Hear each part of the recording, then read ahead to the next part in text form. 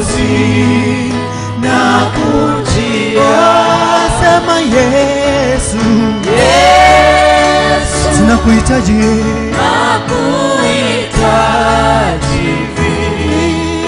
kila saa. Niwezeshe Mwokozi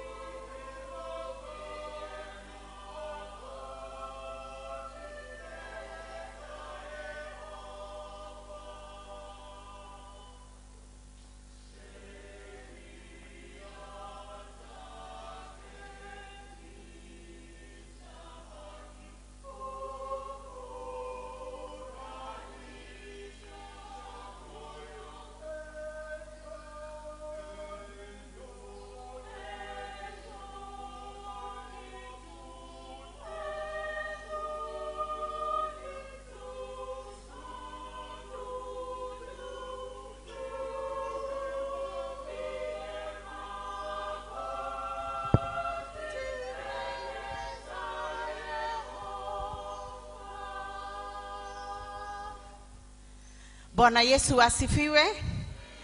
Kanisa, Bwana Yesu asifiwe. Tumshangilie Yesu. Na tunapomshangilia Yesu, kabla tuombe, naomba ushers tujaze hizi vitu kwa heshima, na mkiambiwa msonge mbele, tafadhali msika so that the cameras we always get feedback the church is empty at the front huwa tunapata hiyo feedback. Naomba msikasirike mshuke hapa mbele. Haleluya! Eh, na kutini kuzuri uh, obedience is better than sacrifice. Haleluya! Haya sasa huu ni mwezi umeanza. Leo ni tarehe ngapi? Tarehe moja. Mungu ametuanikania kutoka januari mpaka mwezi huu. Haleluya! Haleluya! Ah, sijui kama amekuonekania mimi amenionekania has the lord been good to you bwana amekuwa mwema kwako. Sasa tumebakisha mwezi ta, miezi mitatu. Tunahesabu hii hii ni awamu ya mwisho ya mwaka. Na hujalazwa. Na umefika kanisani. Na wale mnaingia naomba pia mkuje hapa mbele. Naomba mshirikiane na ashas hizi viti zijazwe naomba. Na sasa tunataka kumwambia shetani hana makao kwa hii hii, hii ibada. Haleluya e, tunataka kuhakisha moto ndio uende mpaka oktoba novemba and december. Haleluya. E, mwambie jirani yako akupe nafasi. Na umsalimie mwambie karibu kwa nyumba ya bwana. E, mwambie karibuni nyumba ya bwana. Asha, endeleeni kusukuma nao watu waje hapa tafadhali kwa kunyenyekea. Kujeni mjaze hizi vitu. Moto wa yesu wawaka. Wawaka wawaka moto wa inu wawaka. Yesu moto. Moto wa ibada wawaka. Yesu wawaka moto. Moto wa yesu wawaka. Hamkai kama moto wa yesu umewaka. Unajua kuna mtu hakuamuka leo hakuona hii siku eh, imba kama unajua unaimbia yesu wako. Haleluya. Eh, tukisema moto wa yesu umewaka unaruka na unafanya nini? Eh, alafu shetani akiona umewaka anafanya nini? Anatoka na anakimbia. Haleluya. Moto wa yesu wawaka. Yesu wawa. Moto. Moto wa yesu wawaka wawaka wawaka shetani anainama anainuka anatoroka ameona moto moto wa yesu wawaka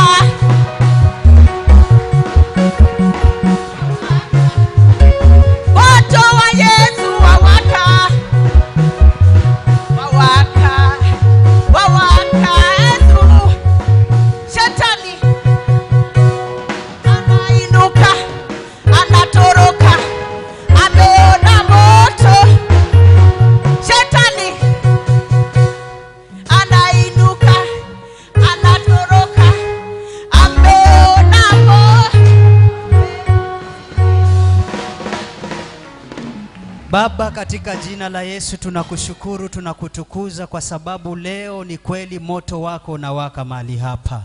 Twaalika zaidi Bwana, ukawake zaidi kupitia Roho wako Mtakatifu. Wagonjwa walioingia mahali hapa kwa uwepo wa ibada miongoni mwao, Mungu wakaponywe. Wale ambao Bwana wamevunjika matumaini katika nyumba yako wakapokee matumaini in the name of Jesus. Wale ambao wamekuja Bwana wasijue watafanya nini katika maisha, wape jibu siku ya leo katika jina la Yesu. Tawala kila kipindi cha ibada ya siku ya leo. Bwana uachilie baraka zako, uongozi utakaoongoza Bwana bariki, waimbaji watakaoimba Bwana bariki, watoto watakaosema vifungu vya Biblia Bwana bariki, wasomaji wabariki, ashas kwa zamu zao wabariki, Bwana praise and worship kwa zamu zao bariki. Na Mungu eh, tukifika mwisho tutapata kulitukuza na kulinua jina lako sala, na kulipatia sifa jina lako. Katika jina la Yesu Kristo Bwana wetu tumeomba, amen. Amen, amen. Karibuni sana.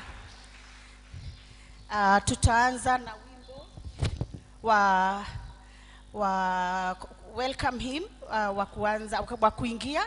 Asante kwako Mwokozi, tukisaidiwa na kwaya.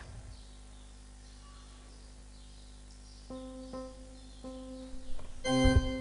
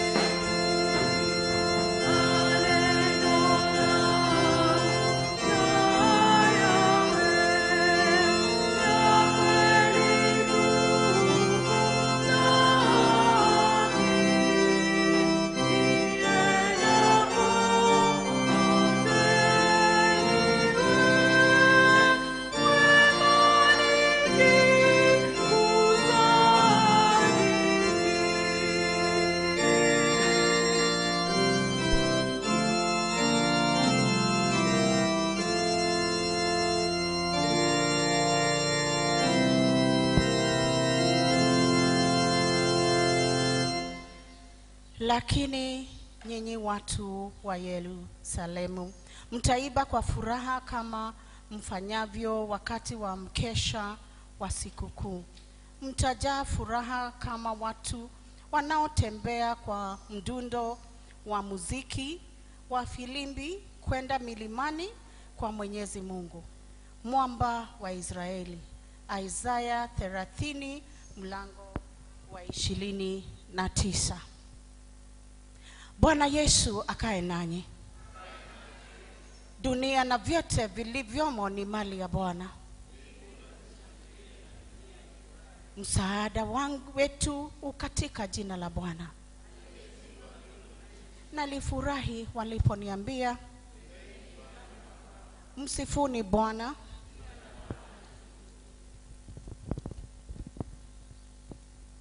Kama tunaketi ama tupige magoti, sote tuna tuombe. Mwenyezi Mungu, ufichuae mambo yaliyostirika gizani, unayejijua siri za mioyo yetu, ututakase kwa kutuhusisha kwa Roho wako, ili tuenende katika mwanga na kulitukuza jina lako, kwa Yesu Kristo, amen.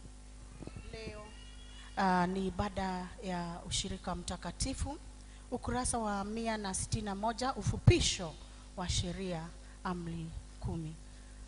Bwana wetu Yesu Kristo alisema, amri ya kwanza na iliyo kuu ndiyo hii, sikiliza Israeli, Bwana Mungu wetu ndiye pekee yake Bwana. Mpende Bwana Mungu wako kwa moyo wako wote, kwa roho yako yote, kwa akili yako yote, na kwa nguvu zako zote. Na ya pili ndiyo hii, mpende jirani yako kama unavyojipenda mwenyewe. Hakuna amri nyingine iliyo kubwa zaidi kuliko hizi.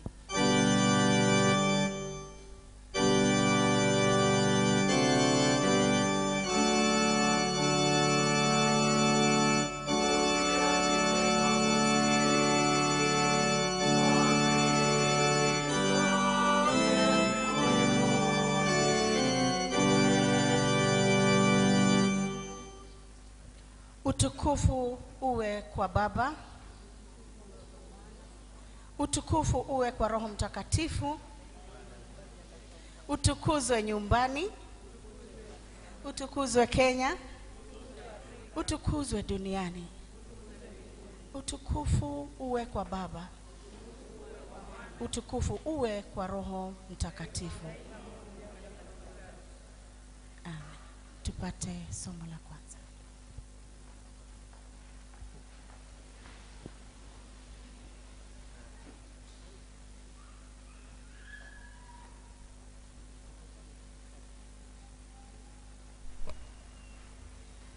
Bwana Yesu asifiwe kanisa. Somo la kwanza lapatikana katika kitabu cha Danieli, kifungu ni cha tatu kuanzia mstari wa ishirini na nne hadi mstari wa thelathini. Danieli kifungu cha tatu mstari wa ishirini na nne hadi thelathini. Ndipo Nebukadresa akastaajabu akiinuka kwa haraka akanena akamwambia mawaziri wake, je, hatukutupa watu watatu ali wamefungwa katikati ya moto? Wakajibu wakamwambia mfalme, kweli, e mfalme, naona watu wanne nao wamefunguliwa, wanatembea katikati ya moto, hali hawana dhara, na sura yake yule watatu wanne ni mfano wa mwana wa miungu. Kisha Nebukadresa akakaribia mdomo wa ile tanuri iliyokuwa imewaka moto, akanena akasema, enyi Shedraka na Meshaki na Abednego, watumishi wa Mungu aliye juu, tokeni mje huku. Ndipo Shedraka na Meshaka na Abednego wakatoka katika ule moto, na maamiri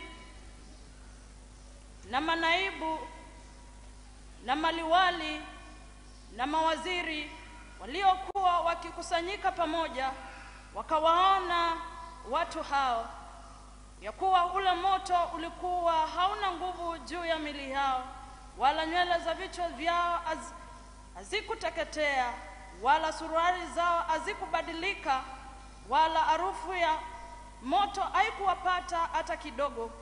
Nebukadreza akanena akasema, na haimidiwa Mungu wa Shadraka na Meshaki na Abednego aliyemtuma malaika wake akawaokoa watumishi wake waliomtumainia waliomtumaini wakaligeuza neno la mfalme na kujitoa mihili yao ili wasimtumikia Mungu mwingine wala kumwabudu ila Mungu wao mwenyewe. Basi mimi naweka amri ya ku- kuwa kila kabila ya watu na kila taifa na kila lugha watakaonena neno la, lolote li, lisilopasa juu ya huyu Mungu wa Shedraka na Meshaki na Abednego watakatwa vipande vipande, na nyumba zao zitafanywa jaa, na kuwa hakuna Mungu mwingine awezaye kuokoa namna hii. Kisha mfalme akawa akawakuza Shedraka na Meshaki na Abednego katika wilaya ya Babeli, na ili ndilo neno la Mungu.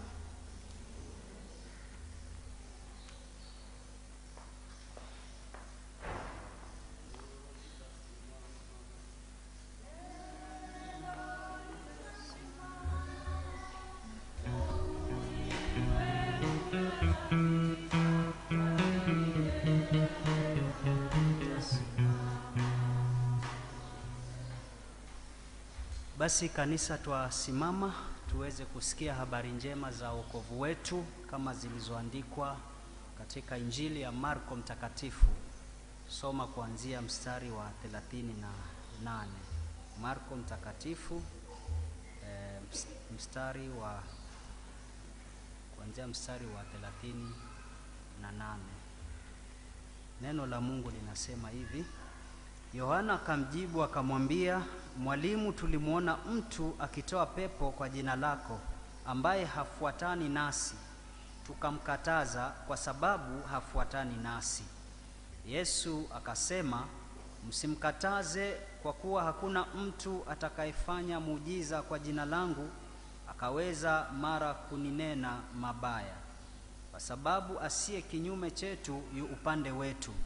Na na kwa kuwa yeyote atakayewanywesha ninyi kikombe cha maji, kwa kuwa ninyi ni watu wa Kristo, amin nawaambia, hatakosa thawabu yake. Na yeyote atakayemkosesha mmojawapo wa wadogo hawa waniaminio, afadhali afungwe jiwa jiwe la kusagia shingoni mwake na kutupwa baharini na mkono wako ukikukosesha ukate, na afadhali kuingia katika uzima ukigutu kuliko kuwa na mikono miwili na kwenda zako jehanamu kwenye moto usiozimika, ambamo humo funza wao hafi wala moto hauzimiki. Na mguu wako ukikukosesha ukate, ni afadhali kuingia katika uzima uwe kiwete kuliko kuwa na miguu miwili na kutupwa katika jehanamu, ambamo humo funza wao hafi wala moto hauzimiki. Na jicho lako likikukosesha ling'oe, ulitupe. Ni afadhali kuingia katika ufalme wa Mungu una chongo kuliko kuingia na macho mawili na kutupwa katika jehanamu, ambamo humo funza wao hafi wala moto hauzimiki. Kwa sababu kila mtu atatiwa chumvi kwa moto. Chumvi ni njema, lakini chumvi ikiwa si chumvi tena, mtaitia nini ikolee? Muwe na chumvi ndani yenu, mkakae kwa amani ninyi kwa ninyi. Na hii ndiyo injili ya Bwana wetu Yesu Kristo.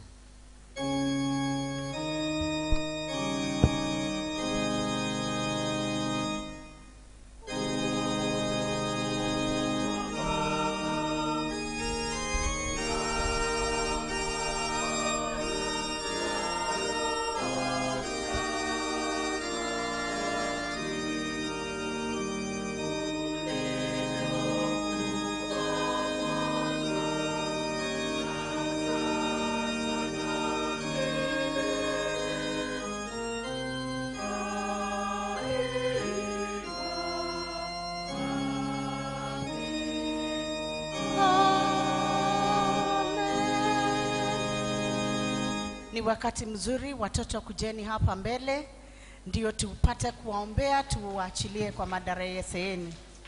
If you're happy and you know, clap your hands. If you're happy and you know, clap your hands. If you're happy and you know, and you really want to show, if you're happy and you know, clap your hands. If you're happy and you know, say amen.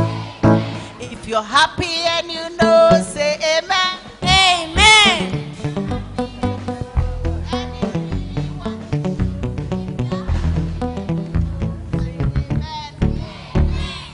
Bwana Yesu asifiwe watoto.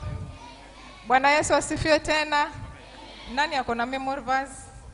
Nataka watatu tu. Two boys and two girls.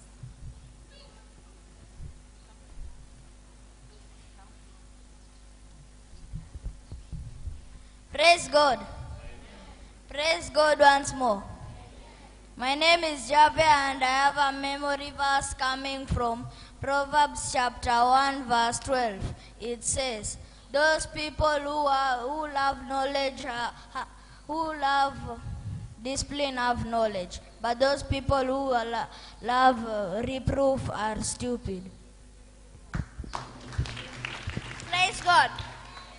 Praise God once more.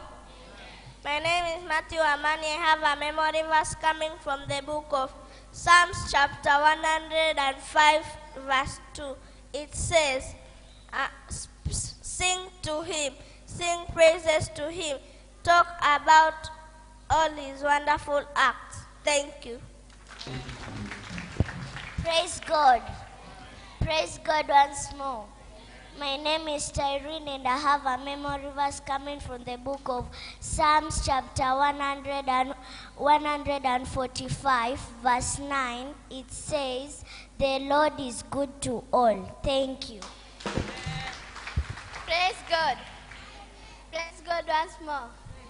My name is Caroline and I have a memory verse from the book of Philippians chapter 4. It says, The Lord always and I say rejoice. When you want to pray, When I want to pray, I put my hands together, I bow down my head, I close my eyes, then I'm ready to pray. Baba, katika jina la Yesu Kristo tunakushukuru kwa ajili ya pia kama baraka katika ndoa zetu, kama nyumba zetu pia tunasema ni asante kwa kuwa wewe ni Mungu mwaminifu. Yehova, tunakabidhi watoto hawa mikononi mwako wanapoendelea kukua katika njia zako mfalme. Tunaomba Bwana ukaendelee kuwaongoza na zaidi ya yote Jehova ukawakuu katika imani ya kukujua wewe Kristo mwana wa Mungu.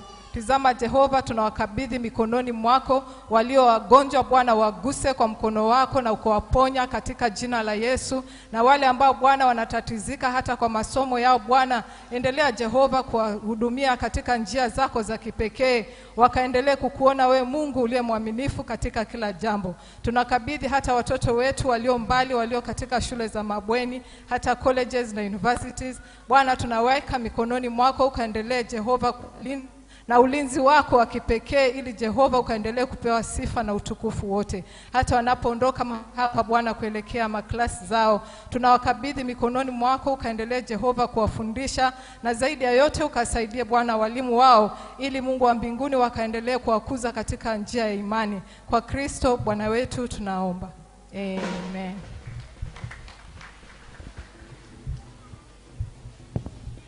Haleluya! Wapigieni watoto wetu makofi wanapoenda, tuwashangilie na uwapatie sadaka mzuri. Haleluya!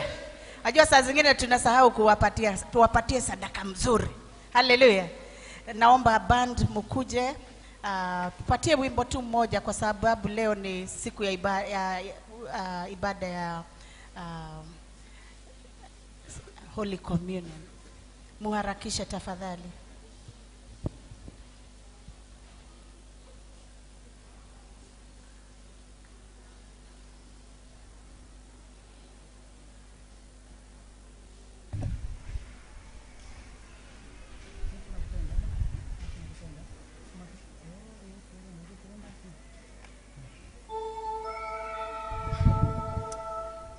Amen. Tunaenda kuimbia nyimbo moja inasema, oh Yesu nakupenda.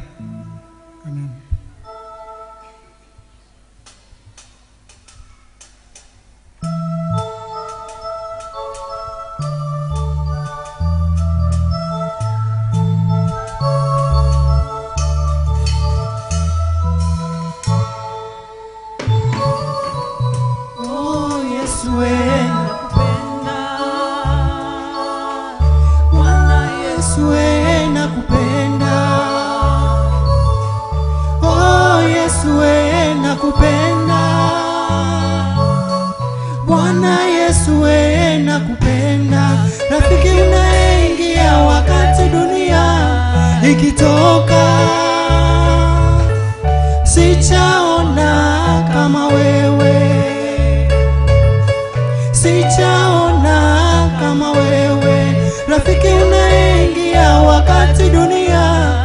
Ikitoka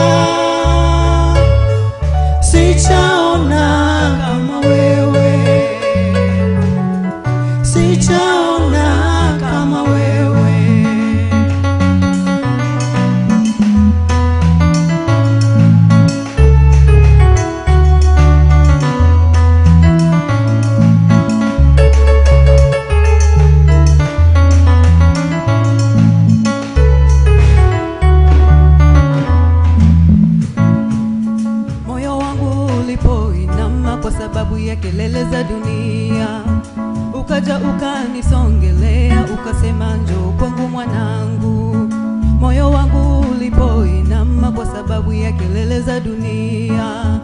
Ukaja ukanisongelea ukasema njoo kwangu mwanangu. Ulinipenda pamoja na udhaifu wangu. Ukanifuta machozi niliyoyalia. Na ndiyo maana nimekaza kukupenda yesu. Oh, jipe moyo moyo. Maisha yaliyokufa yaweza tena. Kuchipushwa tena. Eh, Bwana Yesu, Bwana Yesu, yeye ndiye ufufuo na tena uzima, Ah, anaweza yote.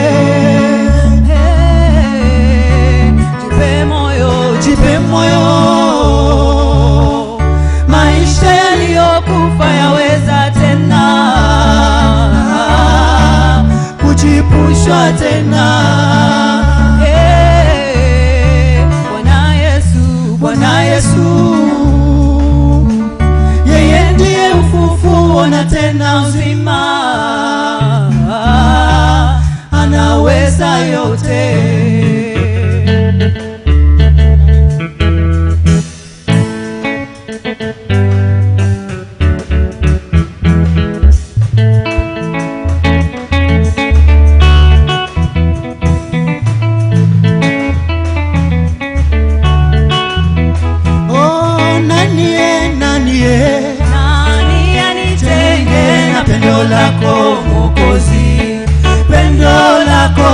lako linaukosha moyo wangu, ndiyo maana nimekaza kupenda Yesu. unatosha. Oh, nanie, nanie, Nani anitenge na pendo lako Mwokozi, pendo lako linaukosha moyo wangu, ndiyo maana nimekaza kukupenda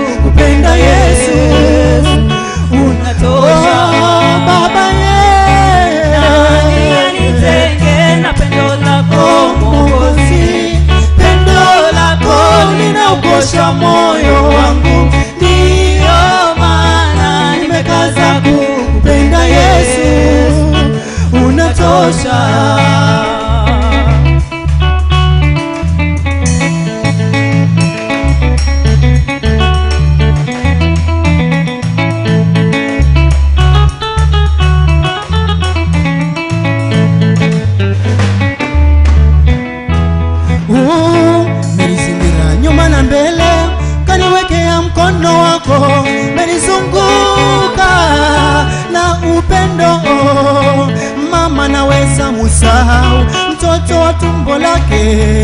Hata simuhurumie mwanawe wa tumbo lake, lakini wewe huwezi. Kuniwacha, huwezi kunitenga, huwezi kunitelekeza, huwezi.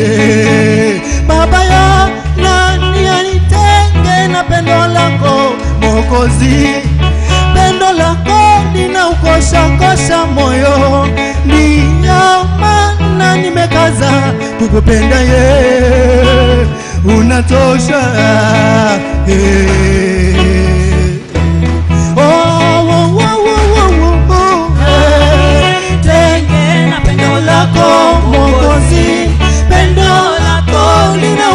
moyo wangu, ndiyo maana nimekaza Yesu, Baba na pendo lako linaukosha moyo wangu, ndiyo maana nimekaza kupenda Yesu, unatosha.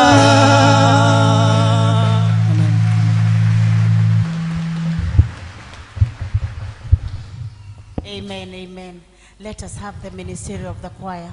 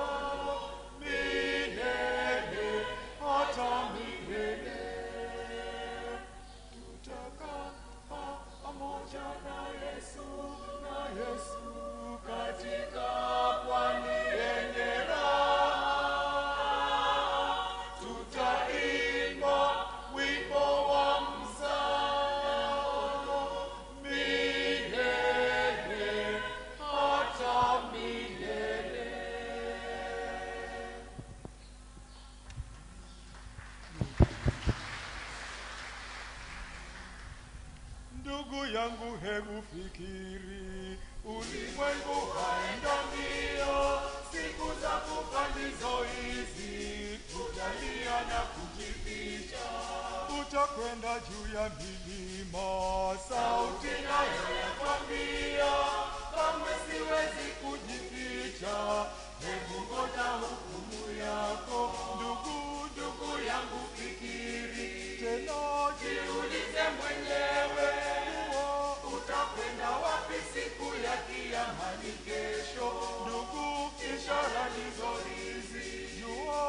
jua lageuka lekundu, mwezi utakuwa giza, mataifa nayo yateta. Ndugu yangu, hebu sikiza, huzuni yote ya dunia siyo Mungu ailetayo, yaletwa nasi wanadamu. Ukiwa na mizigo ndugu yako mwenyewe utabeba, haya linda yote moyoni,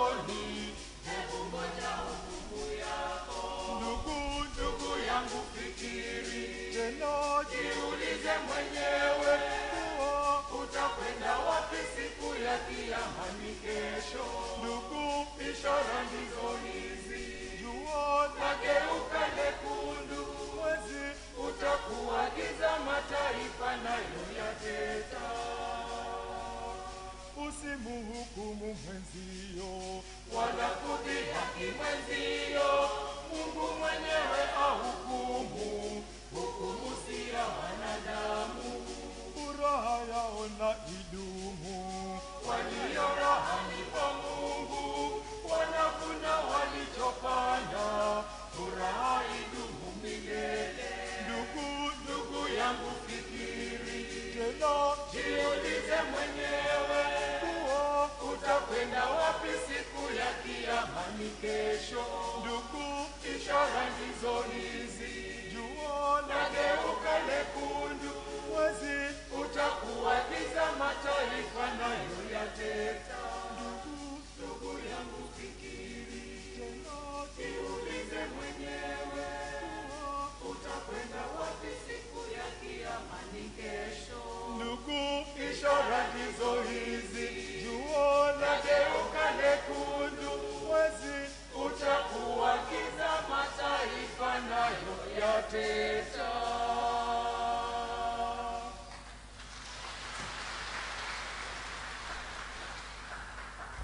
Asanteni sana kwa sababu leo ni ibada ya ushirika mtakatifu. Hatutakuwa na vikundi zote, lakini nimeomba wababa baba kama muna wimbo hamja uh, imba siku nyingi, mko na wimbo eh, simameni, chezeni kama nyinyi.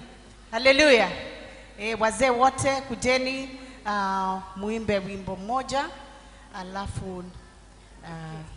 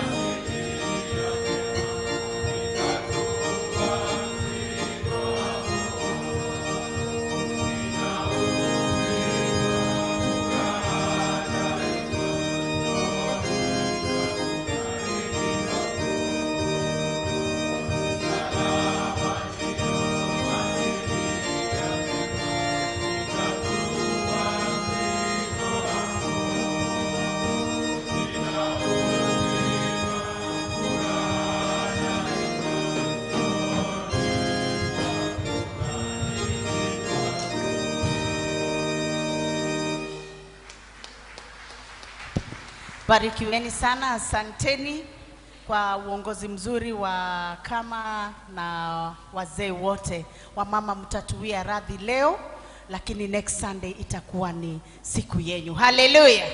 Na sasa ni mass choir, kila mtu asimame tusifu Bwana. I see the praise and worship team wako tayari kutuongoza. Uh, tumsifu na tumwabudu Bwana. Haleluya! Asante sana Gabriel na timu yako, tuko tayari sisi, tuko tayari kuruka.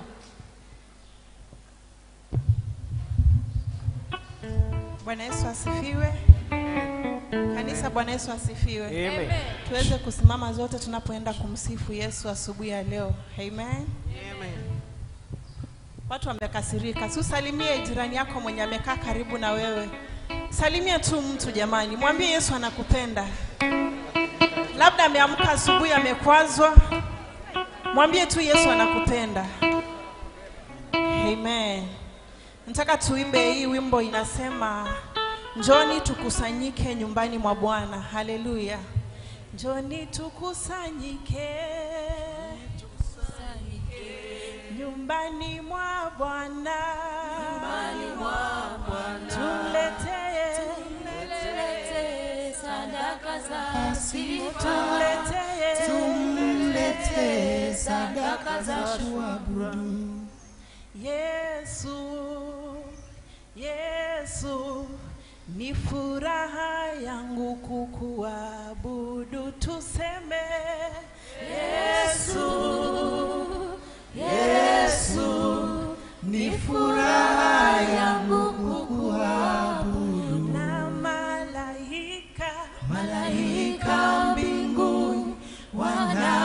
wanakusifu, watakatifu wanaimba, na sisi duniani tunakuabudu. Wewe ndiwe mfalme. na tena tuimbe ingine inasema sifa na utukufu ni kwako e mungu wangu mko tayari tumwimbie yesu nataka tumpigie yesu makofi mazuri. Usisimame kama kijiti. Pigia tu yesu makofi. Piga makofi ya juu. Makofi ya juu kwa yesu. Oh, njoni tukusanyike. Njoni tukusanyike. nyumbani mwa Bwana. Nyumbani mwa Bwana. Nyumbani mwa Bwana tuletee sadaka za sifa. tuletee sadaka za kuabudu. Njoni tukusanyike Tukusanyike. Njoni tukusanyike Njoni tukusanyike. nyumbani mwa Bwana Nyumbani mwa Bwana. nyumbani mwa Bwana Nyumbani mwa Bwana. Tumuletee sadaka za sifa. tumulete sadaka za kuabudu. tumulete sadaka za sifa. tumulete sadaka za kuabudu. Njoni tukusanyike Njoni tukusanyike. Njoni tukusanyike Njoni tukusanyike. nyumbani mwa Bwana Nyumbani mwa Bwana. Nyumbani mwa Bwana. Tumuletee sadaka za sifa. tumulete sadaka za kuabudu. tumulete sadaka za sifa. tumulete sadaka za kuabudu.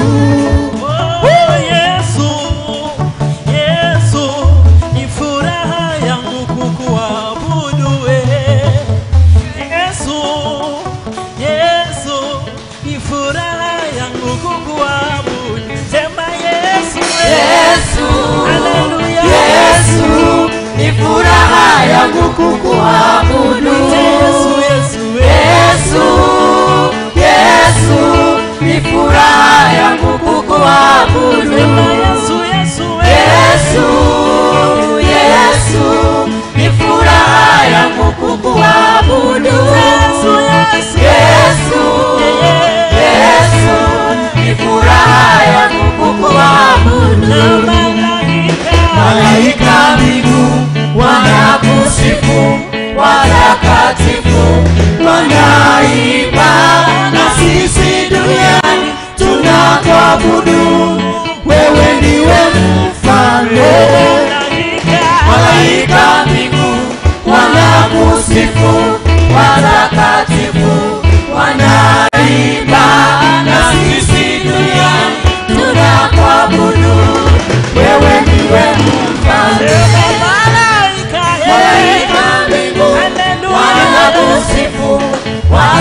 watakatifu wanaimba na sisi duniani tunakuabudu. Wewe iwe mpate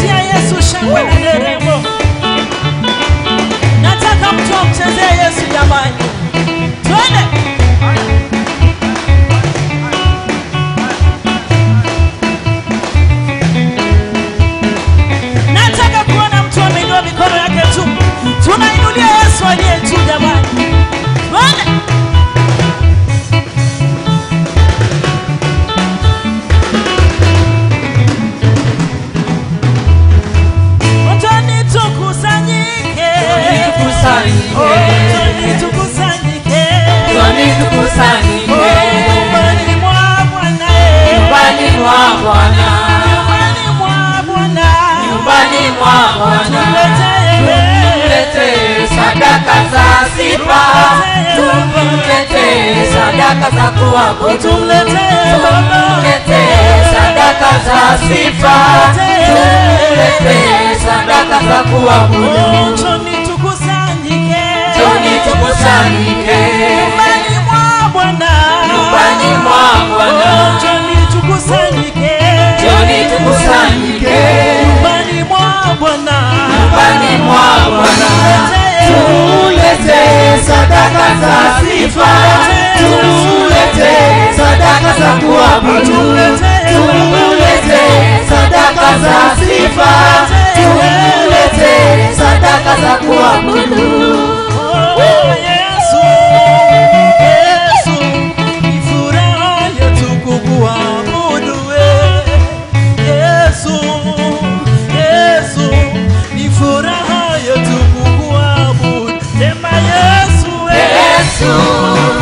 Yesu, ni furaha yangu kukuabudu.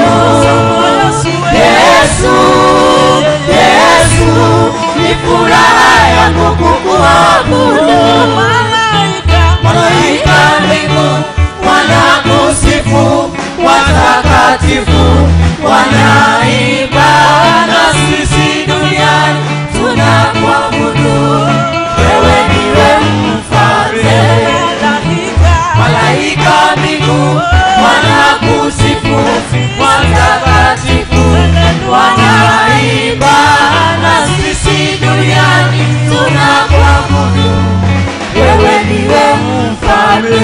Yesu makofi ya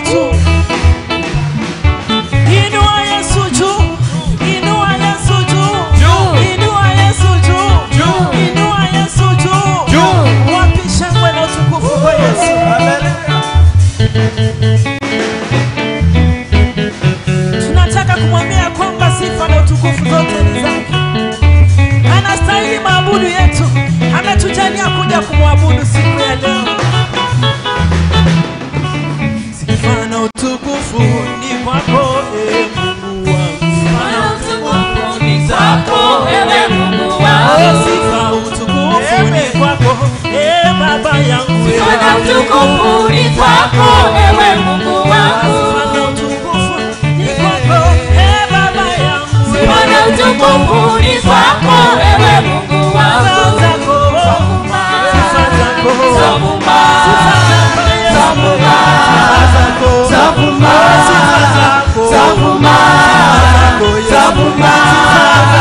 zavuma, zavuma, zavuma, zavuma, utukufu ni kwako e Mungu wangu. Sifa na utukufu ni kwako, ewe Mungu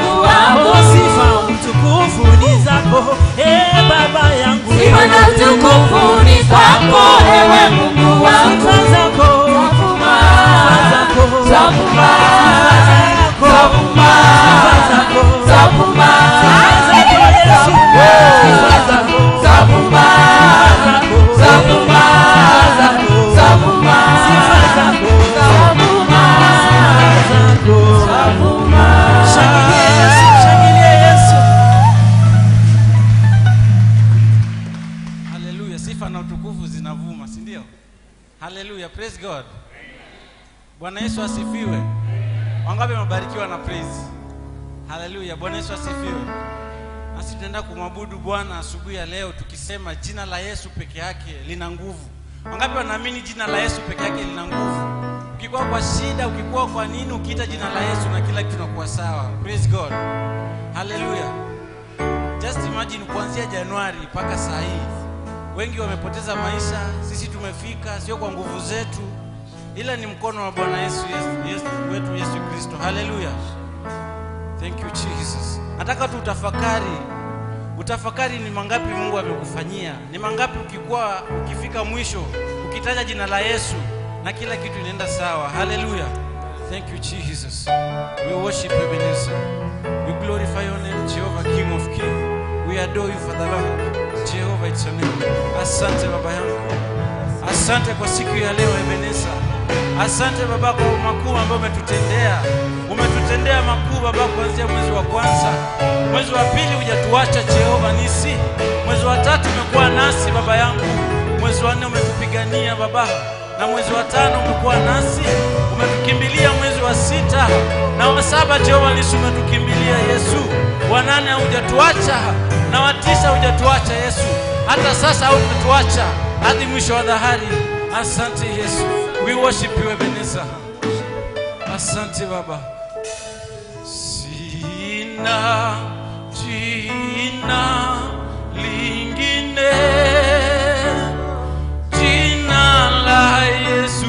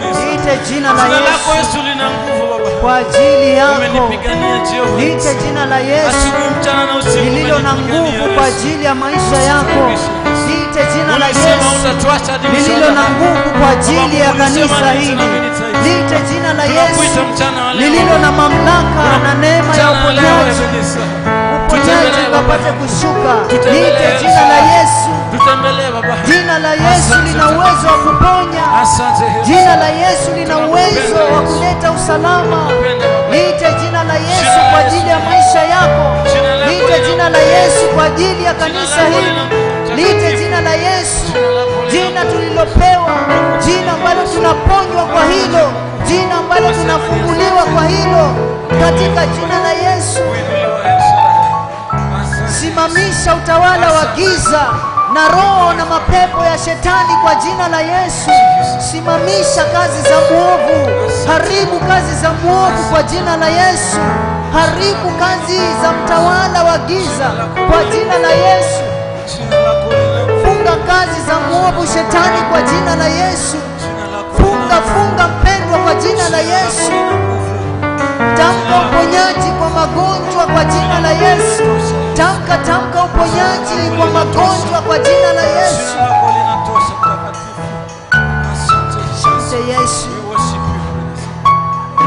Jina lako lina uwezo na nguvu, jina ambalo tulilopewa, jina lililo juu ya majina yote, ambalo kwa hilo twaokolewa, ambalo kwa hilo twapokea uponyaji, ambalo kwa hilo tunawekwa huru.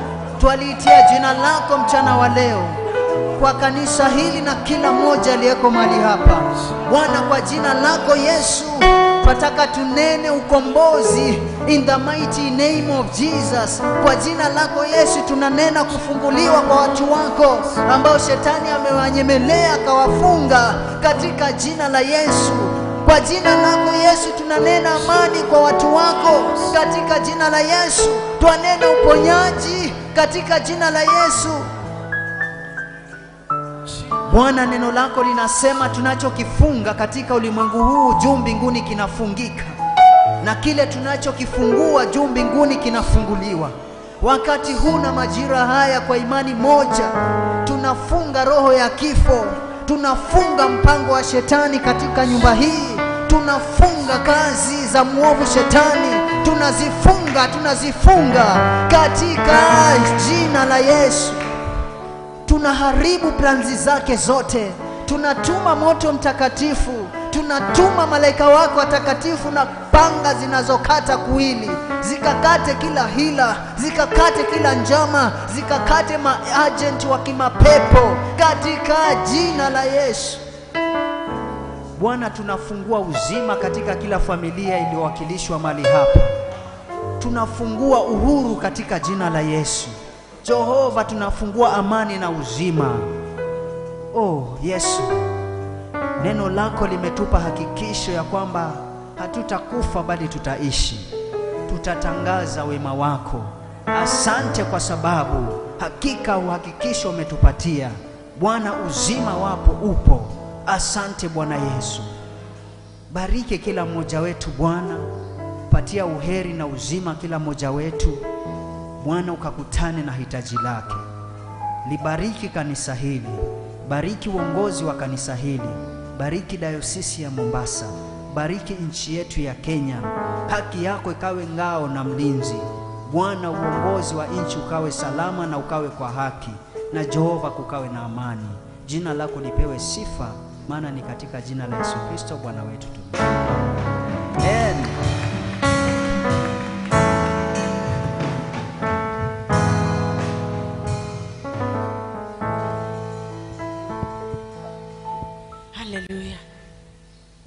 Bwana Yesu asifiwe. Ni wakati wa kuleta zaka na shukrani mbele za Bwana. Tumepata hii nafasi na Mungu ametuwezesha. Naomba tuje mbele tupate kuomba pamoja. Amefanya maajabu na siwezi kueleza, siwezi kueleza,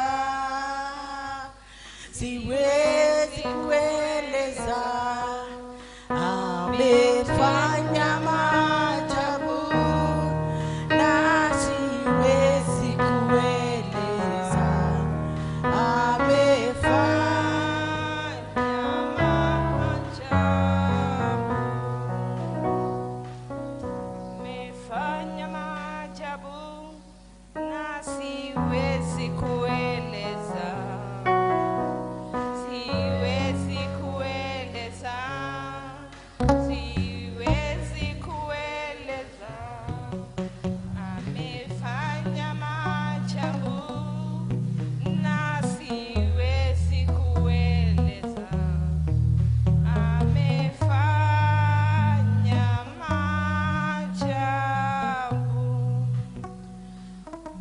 Mungu wetu, muumba wa mbingu na nchi, Bwana, vitu vyote vinatetemeka mbele zako. Tunakuja asubuhi ya leo tukisema ni asante kwa makuu ambayo umefanya kwa maisha yetu. Ni kweli ni maajabu na hatuwezi kueleza. Baba, zaka zetu tunazileta mbele zako Mfalme. Bwana, kazipokee Bwana, kwa sababu dhahabu na fedha zote ni zako Jehova, na ukatupa amri, ukatuambia tukakuletee fungo la kumi Mfalme. Basi kaibariki kazi ya mikono yetu Mfalme, ili kesho tena tukapate kuja mbele zako na hizi saka. Bwana. Angalia watumishi wako Jehova waliokuletea shukurani zao Baba, kawabarikie Mfalme, kawazidi kuwapaka mafuta na kuwazidi kuwapanulia mikopo yao Jehova, biashara zao ukazibariki Jehova, kule wanaporauka wakienda kila kukicha Jehova, ukakuwe nao Baba. Tunasema ni asante kwa yote, na ni kwa Yesu Kristo tunaendelea kuomba tukiamini, amen. Ametenda maajabu Bwana Yesu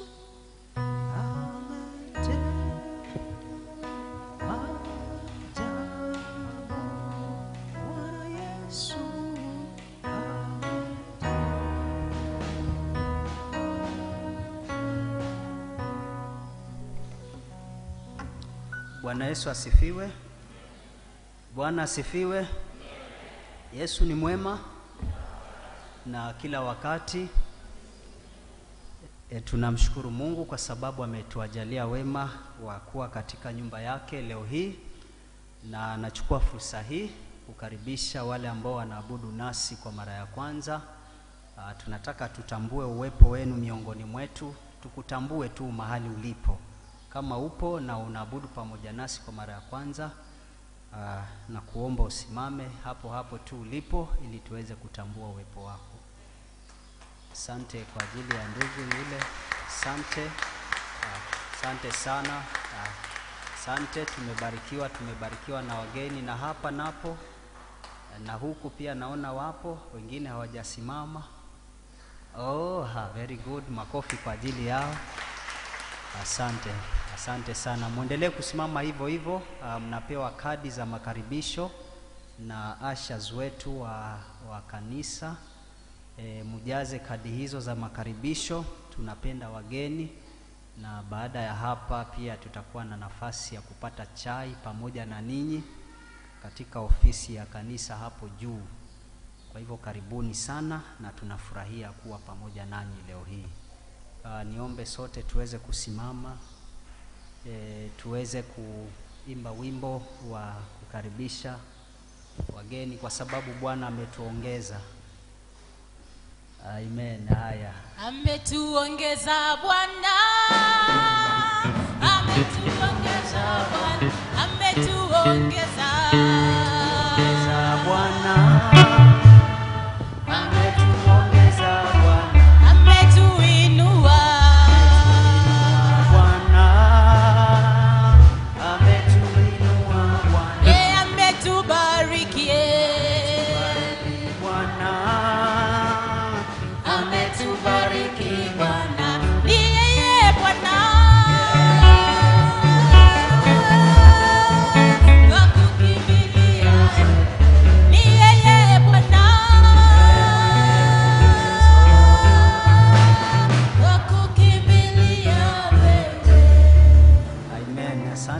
tunaweza kukaa.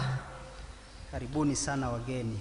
Kwa ajili yenu, kila Jumapili tuko na ibada tatu. Ya kwanza inaanza saa moja kamili, ya pili inaanza saa tatu uh, kamili asubuhi, na ya tatu inaanza eh, saa tano, na ibada za Sunday school zinafanyika wakati ibada hizo tatu zinapoendelea.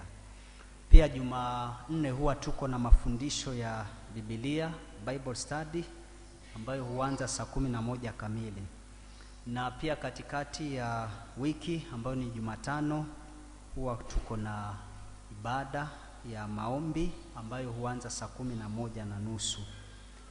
Um, tunashukuru Mungu miongoni mwetu ah, ambaye amejiunga kuabudu nasi si mgeni, lakini amekuja kuabudu nasi leo kutoka St. Paul Kiembeni ni ndugu uh, Nyongesa.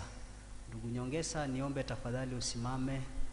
Asante sana. Huyo ndugu Nyongesa, yeye ni director katika uongozi wa kama wa diocese na katika archdeaconry yetu hii ya Shanzu ni organizing secretary na pia anaangalia mambo ya sports ama michezo.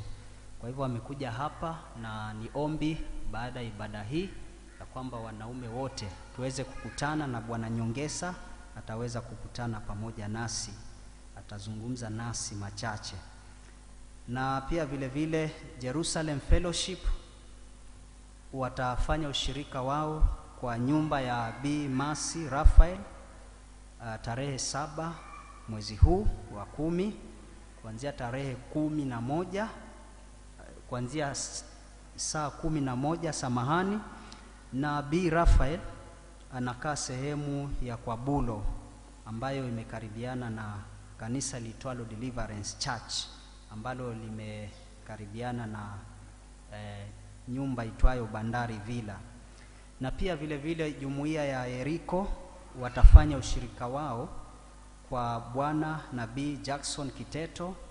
Uh, wanakaa sehemu ya Kazandani uh, adjacent Bridge, Bridge International School, huko ndiko wanakokaa, na ushirika huo utafanyika tarehe e, saba vile vile mwezi huu, na muda ni kuanzia saa kumi na nusu jioni. E, wanawake wote wanaombwa kusalia uh, nyuma baada ya ibada hii, kubaki kidogo kwa ajili ya mazungumzo, na pia vile vile tutakuwa na revival week ambayo itaanza tarehe e, tatu Jumanne inayokuja. Revival hiyo itaendelea mpaka tarehe sita ambayo ni Ijumaa, na muda ambao itakuwa inaanza kila siku kuanzia hiyo siku ya Jumanne itakuwa ni saa kumi na moja jioni. Uh, na climax ama mwisho kabisa au kilele itakuwa Jumapili inayokuja. Kwa hivyo ni ombi ya kwamba sote tulioko mali hapa tuje katika revival. Bwana asifiwe. Wangapi huwa tunakuja katika revival?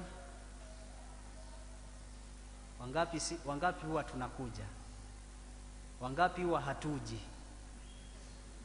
Hasa wengine hawanyoshi, hatujui kama waja ama huji, kote kote hujanyosha mkono. Sasa nijueje, mchungaji Wellington mwana wa Chiranzi? Haya, wangapi huwa wangapi huwa hatukuji revival? Let us be sincere. Najua kwa sababu ya time eh, hizo ndo sababu, kwa sababu ya kazi. Wanga mikono juu vizuri, mikono juu vizuri. So tunaona namba ni nyingi zaidi. Haya, asanteni, mikono chini. Niombe wapendwa, tujitahidi tukuje kwa revival. Amen. Eh, revival umuhimu wake ni kwamba ukiingia katika revival, ukitoka pale you will never be the same. Huwa kuna transformation inafanyika kwa sababu wakati huo ni wakati Mungu anafanya kazi na Mungu hufanya kazi katika neno lake. Amen. Ukija ukilishwa, unatoka ukiwa umebarikiwa, na hata kama kuna mambo yamekuwa yakikufunga na kukuzuia katika familia yako na, na kuna extended family ya huko nyumbani na ile yako ambayo Mungu amekupatia through those revival prayers Mungu huwa anapata na, anafanya kazi vizuri kwa sababu huwa tuko na time nzuri kuliko Jumapili, na ukija Mungu anakuhudumia vilivyo na unafunguliwa. Kwa hivyo wacha tukuje katika revival. Sasa ni wangapi watakuja kwa revival? Ah, bado ni wale wale jamani hebu tunyoshe mkono wangapi tutakuja kwa revival haya kama umenyosha mkono hata kama time ni, ni shida na kuombea mungu akupatie hiyo time afungue njia yani afanye muujiza ukuje kwa revival. Amen. Na pia vile vile tunataka kushukuru ofisi ya uchungaji kwa kuitikia mwito. Juma liliweza kupita jumapili tuliweza kuwauliza mkaweze ku, uh, kuhusika katika ku, uh, kutoa love offering kwa ajili ya familia ya lerida mtumishi wa mungu uh, mary olwande. Na mlitoa kwa moyo uh, tunashukuru sana pia departmental kwa kutoa kama mothers union sunday school vijana. Mulifanya kazi nzuri sana. Hebu tujipigie kwa makofi, makofi. mungu awabariki. Na tunashukuru eh, kanisa letu liliwakilishwa vizuri katika msiba. Kuna wale waliweza kufika pale cheromo uh, mochar kwa ajili ya utoaji na kusindikiza mwili kuenda kisumu ambao miongoni mwao ni eh, lerida wetu mama abigail chopeta na mchungaji Ann ambaye bado yuko live lakini waliweza kupatikana huko miongoni mwa hao. Tunashukuru na pia kuna wale ambao waliweza kuendelea na safari sasa kutoka Mombasa Nairobi mpaka Kisumu. Na miongoni mwa hao ni mchungaji wetu ndipo saa leo hatuko pamoja naye lakini ameweza kwa, eh, kunituma na salamu muzipokee muzipokee na pia mpokee salamu za mchungaji Ann nataka nitangaze kwenu kwamba katika waskofu wa Mombasa tunasikitika kwamba mchungaji wetu mmoja aliweza kuondokewa na uh, mke wake uh, mapema sana. Mchungaji anaitwa Reverend Salim. Nafikiri wale ambao tuko na vijana pengine tumesikia ya kwamba Reverend Salim kuna wakati mmoja alikuwa diocesan uh, youth organizer. Kuna wakati mmoja alikuwa diocesan youth organizer. Mke wake aliweza kupumzika Jumapili uh, iliyopita na maombi yanaendelea, na pia kutakuwa na fundraising uh, pale Cathedral kuanzia saa kumi na moja na nusu Jumanne. Kwa hivyo pia tukipata nafasi ya kuweza ku, kuhusika katika utoaji, tuhusike katika utoaji eh, na kama utakuwa na nafasi maybe unaweza kufika pale, na nafikiri pia Mungu anaweza kukubariki, lakini sisemi hivyo ndo tusije tusije kwa revival. Tafadhalini tujeni kwa revival. Uh, asanteni sana kwa kuweza kunisikiliza. Hayo ndio yalikuwa matangazo ya kanisa. Uh, tunaweza kusimama tupewe wimbo tusikie neno la Mungu uh, kutoka kwa Lerida uh, Moses Lombo. Tusimame sote, wimbo wa kumkaribisha mhubiri ni mia thelathini. Yesu akujua unavyolia.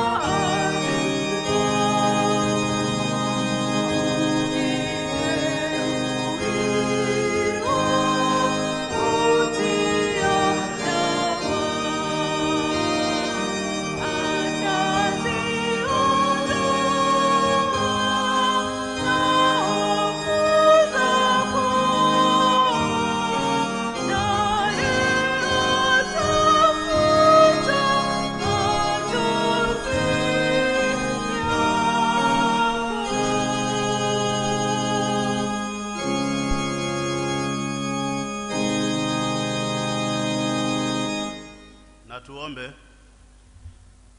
Mtakatifu, mtakatifu Mungu wetu, Baba Bwana wetu Yesu Kristo, ni kweli Bwana, unajua kilio chetu kila saa, kila wakati, tunapolala, tunapoamka. Bwana, unajua hoja zetu. Tangu tuingie mahali hapa, Mungu, tumeona baraka zako, tumekuimbia, tumekusifu, tumekuabudu, na sasa Bwana, ni wakati wa kusikia neno lako takatifu.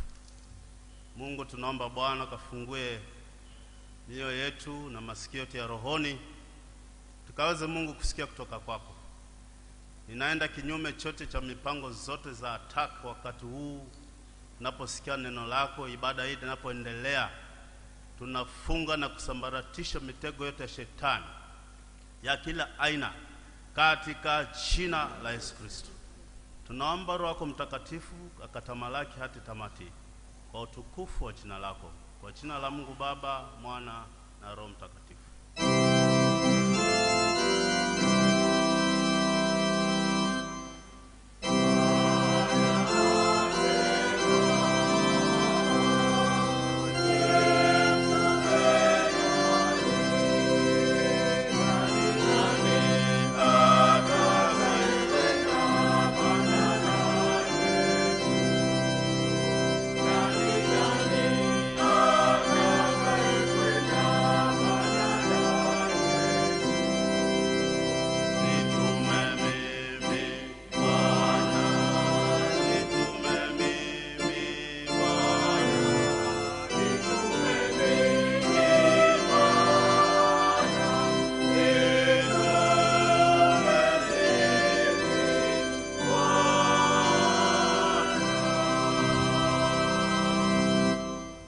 Naomba kanisa kuwasalimia. Hamjambo? Bwana Yesu asifiwe. Haleluya. Nipungie tu mkono kwa ajili ya Bwana, hata kama unipendi, nipungie tu, nipungie tu. Haleluya. Eh, nasema hivyo kwa sababu kuna mwingine alisema Moses, sikupendi. Nikamuuliza sababu ni nini, na mimi sina maneno na mtu. Akanyambia tu sina sababu tu, lakini sikupendi tu. Bwana Yesu asifiwe sana. Lakini siku moja kiliumana na akalazwa hospitali, na sasa kwa sababu alisema nipendi, alikuwa atuongei na simu wala nini, lakini akanitumia text tu, kaniambia niko hali mbaya hospitali, njoo niombee. Na mimi nikaenda nikamwombea na Mungu akamponya. Bwana Yesu asifiwe sana. Kwa hivyo tupendane tu. Unajua kuna mtu hata kama akupendi, lakini nilimwambia kwa sababu Mungu ananipenda, hata sina wasiwasi. Bwana Yesu asifiwe sana. Haleluya. Pili, nataka kutoa shukurani kwa ajili ya mchungaji kunipa nafasi hii kunena nanyi siku hii ya leo. Nimeokoka, nampenda Yesu na bado sijajuta kwa nini nimeokoka, maana naona dalili zake njema katika maisha yangu. Bwana Yesu asifiwe sana. Kufikia sasa ni neema na fadhili zake katika maisha yake, na mimi sijachoka kumtumikia, ninamtumikia usiku na mchana. Bwana Yesu asifiwe sana. Maana hata kati tumelala na huku na tafakari neno lake, hilo njia moja kumtumikia. Haleluya. Eh, maana wazajiuliza kwa nini anasema usiku na mchana, kwani usiku halali? Lakini unapokaa na kutafakari neno lake na kuombea wale ambao wako kwenye matatizo, ile ni huduma unafanya nao, naendelea kumtumikia Bwana. Bwana Yesu asifiwe sana. Pili, nataka kushukuru e, juzi nilitoka hapa kuelekea Nairobi na tulikuwa na fellowship na wanaume, nikaomba kwamba niombee safari na pile ukaaji wa kule. Unajua kule Thika Road ni baridi tu, na hapa tumezoea nini, joto. Nimaliza wiki pale na nashukuru Mungu sijashikwa hata na mafua. Bwana Yesu asifiwe sana, kwa sababu ya maombi yenu. Kwa hivyo nashukuru. Sasa naona hatuna muda sana, nataka tu kuingia kwa neno. E, kuna neno lile tumesomewa na mtumishi Purity kuhusu mambo ya ufalme, na leo nataka kichwa changu cha maneno ni kwamba mtumikie Mungu ukiwa na msimamo. Bwana Yesu asifiwe sana. ukiwa na msimamo katika hali ya kumtumikia Mungu na katika hali ya, ku, ya kumwamini Mungu, utaona matokeo yake mwisho. Bwana Yesu asifiwe sana. Maana ukiangalia katika ile neno tumesomewa, kuna wafalme wengi tu kule nchi, wako manyumbani, wako makazini, wako hata katika communities eh, hata makanisani wako. Akisema jambo amesema. Bwana Yesu asifiwe sana. Hata mama mwingine akawa anashuhudia, mimi nyumbani niko na ndovu, maana ikisema imesema. Huyu nini? Ni ufalme, ni mfalme wa nyumba yake. Bwana Yesu asifiwe sana. Akisema mtamaliza mwezi mmoja hamwendi kanisani, ni lazima mtii, lakini wanasahau ama wanakosa kufahamu ya kwamba Mungu ndio mfalme wa wafalme. Bwana Yesu asifiwe sana. Wanasahau hilo kabisa.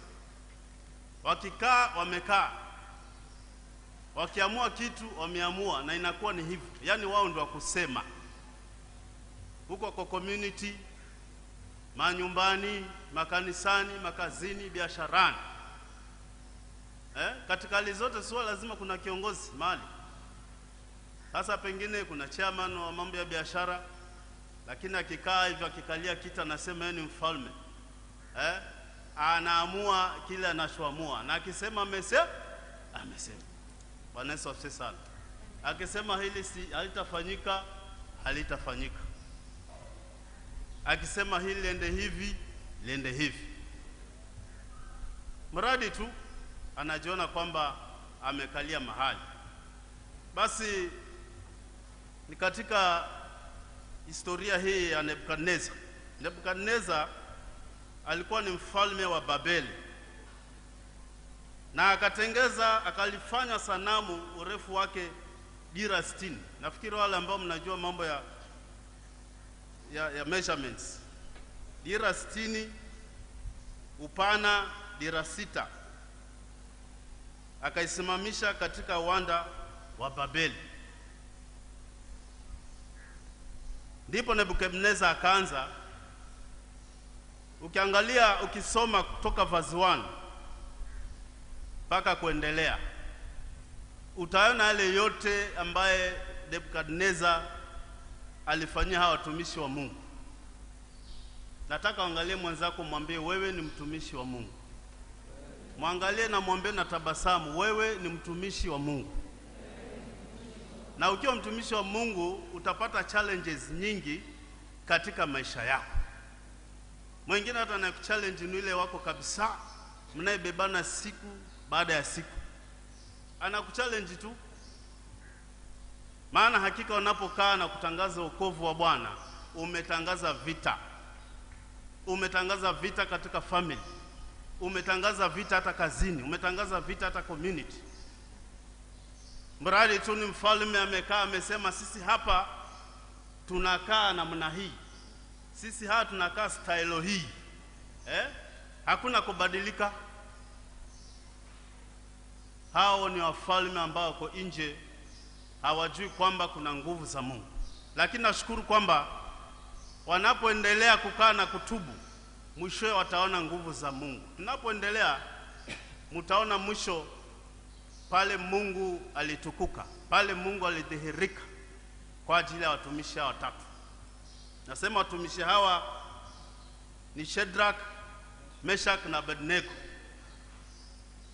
Ukisoma kutoka verse 1 ukiangalia yale mambo yote, walifungiwa, wakashtakiwa, wakafanywa hili eh? Nebukadneza amesimama kidete akitaka Mungu wake aabudiwe. Hii sanamu alivyosimamisha alisimamisha ili watu waiabudu, lakini kitu cha kufurahisha ni kwamba hawa watumishi watatu walikataa kutii mambo ya huyu mfalme huyu mfalme. Akakataa, wakakataa kutii kwa sababu kuna Mungu walikuwa wanamtumikia, naye huyu mfalme alikuwa anataka watu waabudu ile miungu yao ambayo kunayo. lakini watumishi hawa watatu walisimama na msimamo. Ndiposa nikasema ya kwamba neno letu la leo, jinsi unavyomtumikia na jinsi unavyomwabudu Mungu, umwabudu na msimamo. Bwana Yesu asifiwe sana. Hawa wapendwa walikuwa na msimamo, ikaenda mahali wakafungwa mpaka wakaingizwa kwenye tundu la tanuru ya moto, na ukiangalia ile tanuru la moto vile linavyowaka, hata wewe mwenyewe huwezi kulikaribia, lakini hiyo hakuiogopa. Sasa hata mtu akikwambia amewasha jiko hapa la makaa linafanya hivi, akwambie usipofanya hivi, hicho kidole chako nitakiingiza kwenye makaa ya moto, alafu uanze kufikiria kama utaogopa kidole kuingizwa kwenye kaa la moto, itakuwaje kwenye tanuri ya moto? Tanuri ya moto ni mahali kukoholo hivyo ndani, unafanya kuingizwa na moto unawaka. Bwana Yesu asifiwe sana. Hawa watumishi wakasimama na msimamo wao, lakini nataka tuangalie mstari wa 24 pale tumeanzia kusomewa. Mali Nebukadneza akastaajabu, akainuka kwa haraka, akanena, akamwambia, akawaambia mawaziri wake, je, hatukutupa watu watatu hali wamefungwa kat, katikati ya moto? Bwana Yesu asifiwe sana. Ukisoma hiyo kuanzia verse 1 kuendelea hivi, utaona hiyo historia. Ninaenda kwa ufupi kwa sababu ya wakati. Utaona hiyo historia yote eh, mpaka kwamba wanafika mahali wanaenda wanazindua hiyo sanamu yao, lakini Shadrach, Meshach na Abednego walisimama wakakataa mambo ya huyu mfalme, wakasema sisi kuna huyu Mungu wetu tunayemtumikia.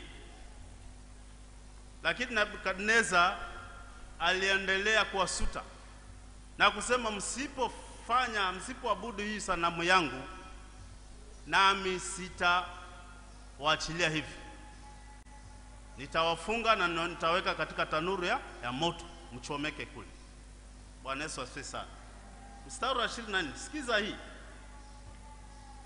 Wakajibu wakamwambia mfalme, kweli e mfalme? Akajibu akasema, tazama, mimi naona watu wanne, nao wamefunguliwa, wanatembea katikati ya moto, hali hawana dhara, na sura yake yule wanne ni mfano wa mwana wa miungu. Bwana Yesu asifiwe sana. Yaani nataka kusema nini? Kuna mambo ambayo unapitia katika maisha yako, mambo magumu, hujui uende wapi. Watu wengine hata wamekaa kukaa kutafuta amani tu, lakini kila mahali wanapoenda hakuna amani. Bwana Yesu asifiwe sana. Hata utakuta watu wengi kwa mwaka mmoja, wengine amehama hata mara tatu mara nne, kwa sababu wanatafuta amani. Anaenda huku akifikiria kuna amani, akifika huku hakuna amani. Masengenyo, madharao, kusemwa, kubandikwa majina ambayo huyajui, kusingiziwa.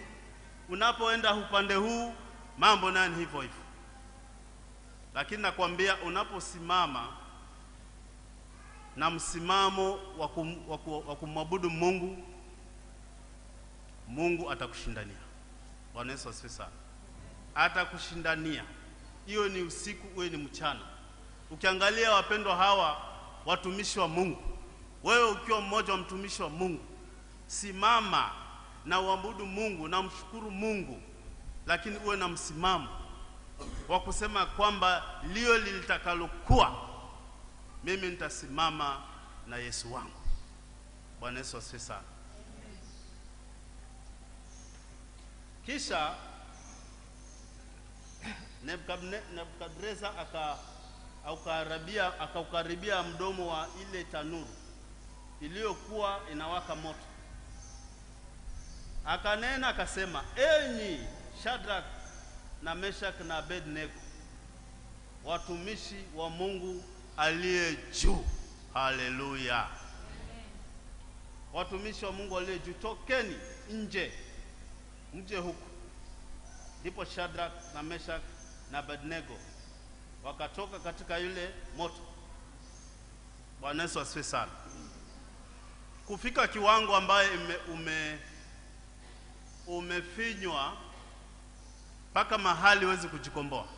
Maana unapoingizwa katika tanuri ya moto, unapoingizwa kwenye shimo, angalia hali itakuwa namna gani. Lakini wale mabwana walifungwa mikono na miguu, wakasukuma wapi? Ah. Lakini kwa sababu walikuwa na watumishi wa Mungu na wanaamini Mungu na wanamtumikia Mungu, Mungu hakuwaacha. Bwana Yesu asifiwe sana. Angalia hata Danieli alipotupa kwenye shimo la simba, Mungu aliwafunga wale simba midomo ili wasifanye nini? Asishambulie Danieli. Na wewe pia katika hali hiyo ambayo unapitia, hiyo ni kwa familia, hiyo ni kwa community, hiyo ni kazini, hata rafiki yako mwenyewe anaweza kukugeuka, lakini amini Mungu tu.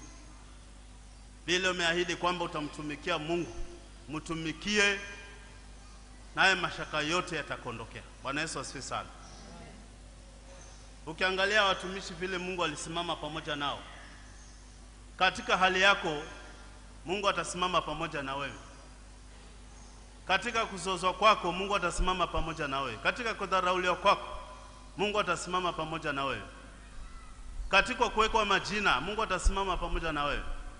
Kuna wengine hata wamepitia, wameoleka mahali, lakini wanaweza kuuliza umetuletea nani huyu? Lakini ujue Mungu amekupea pale na sababu. Bwana Yesu asifiwe sana, haleluya. Mimi hata katika ndoa yangu wakati wa kuoa kulikuwa na manunguniko, manunguniko mawifi sijui nini nini, mimi nikawaambia mimi siwaolee nyinyi. Bwana Yesu asifiwe sana. Kwa hivyo hata nikifunga ndoa yangu hawatakuja kwenu, nitakuwa naye mwenyewe. Bwana Yesu asifiwe sana. Na alikuwa na na nyanya alikuwa very sharp, anasema ukioa mke wako enda naye, hakuna kumbakisha hapa. Unajua ile mila za zamani ilikuwa ati unabakisha eh, mke wako anabaki na mama ati kumsaidia. Unauliza anamsaidia kitu gani? Anataka na kusaidia wewe, kwa hivyo unaenda naye huko. Bwana Yesu asifiwe sana. Kwa hivyo manunguniko haya yako utabandikwa majina. Hata wengine wamekataa kwenda reserve kwa sababu ya hali hizo. Usiogope, kwa kuwa unamtumikia Mungu. Nasema huyu Mungu naye kutumikia katika hali yangu hii ninapitia, katika madharau yale inaonesha. Mungu nipe uzima, Mungu nipe amani, na amani utaipata. Bwana Yesu asifiwe sana. Wapendwa hawa walivyotolewa katika ile tunu ya shindano ya, moto, kumbe mfalme hakujua kuna mfalme wa wafalme ambaye iko ndani ya watu hawa watatu. Akastaajabu, ndio maana akastaajabu kuona kwamba hao watu wako kwenye tunu la eh, tanura ya, ya, ya moto na hawakuchomeka. Wanasema hata nyele zao hazikuchomeka, mavazi yao haikuchomeka ni kwa sababu walikuwa na Mungu. Bwana Yesu asifiwe sana. Usidanganyike na mtu yoyote, hata mtu akiwa na jaribu, akija na jaribu aina gani, anakwambia wewe, usipobadilika hutakaa hapa. Unajua kuna watu wengine wakiona umeokoka wanasema sasa, huyu amekuja kuvunja mila zetu hapa.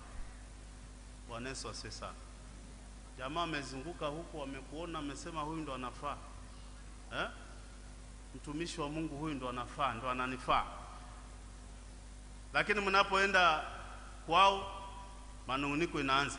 Sasa wametuletea mwokovu hapa, itakuwaje? Eh? Wafalme hao ambao hawatambui kwamba kuna Mungu, Mungu ambaye anashindania, Mungu ambaye ana uwezo, Mungu ambaye ana kila kitu katika, katika sura ya mwanadamu na katika maisha ya mwanadamu Bwana Yesu asifiwe sana. Mimi kuna mali huko nyumbani, baba alikuwa na shamba tu, akasema kila mtu ajenge hapa, lakini mimi nikasema wacha nitoke katafute kwangu. Nilivyotafuta basi nikakuta huko kuna wazee, wajua hapa ukinunua kuna wazee nini, ah, ni sawa sawa. Ukianza kujenga pia kuna washauri hapa. Basi wazee wale wakanifuata, wakasema kijana, uko kijana tu, kijana umenunua hapa, tunakukaribisha sana, lakini usijenge nyumba kubwa hapa. Bwana Yesu asifiwe sana. Mfalme huyo kijiji, mfalme huyo sema mimi ndio chairman. Kaambia sawa sawa chairman, nimekusikia, lakini tufanye hivi, wacha nione vile Mungu atanio ataniongoza. Bwana Yesu asifiwe sana. Kaita mchungaji pale akabariki, mimi nikaanza ujenzi.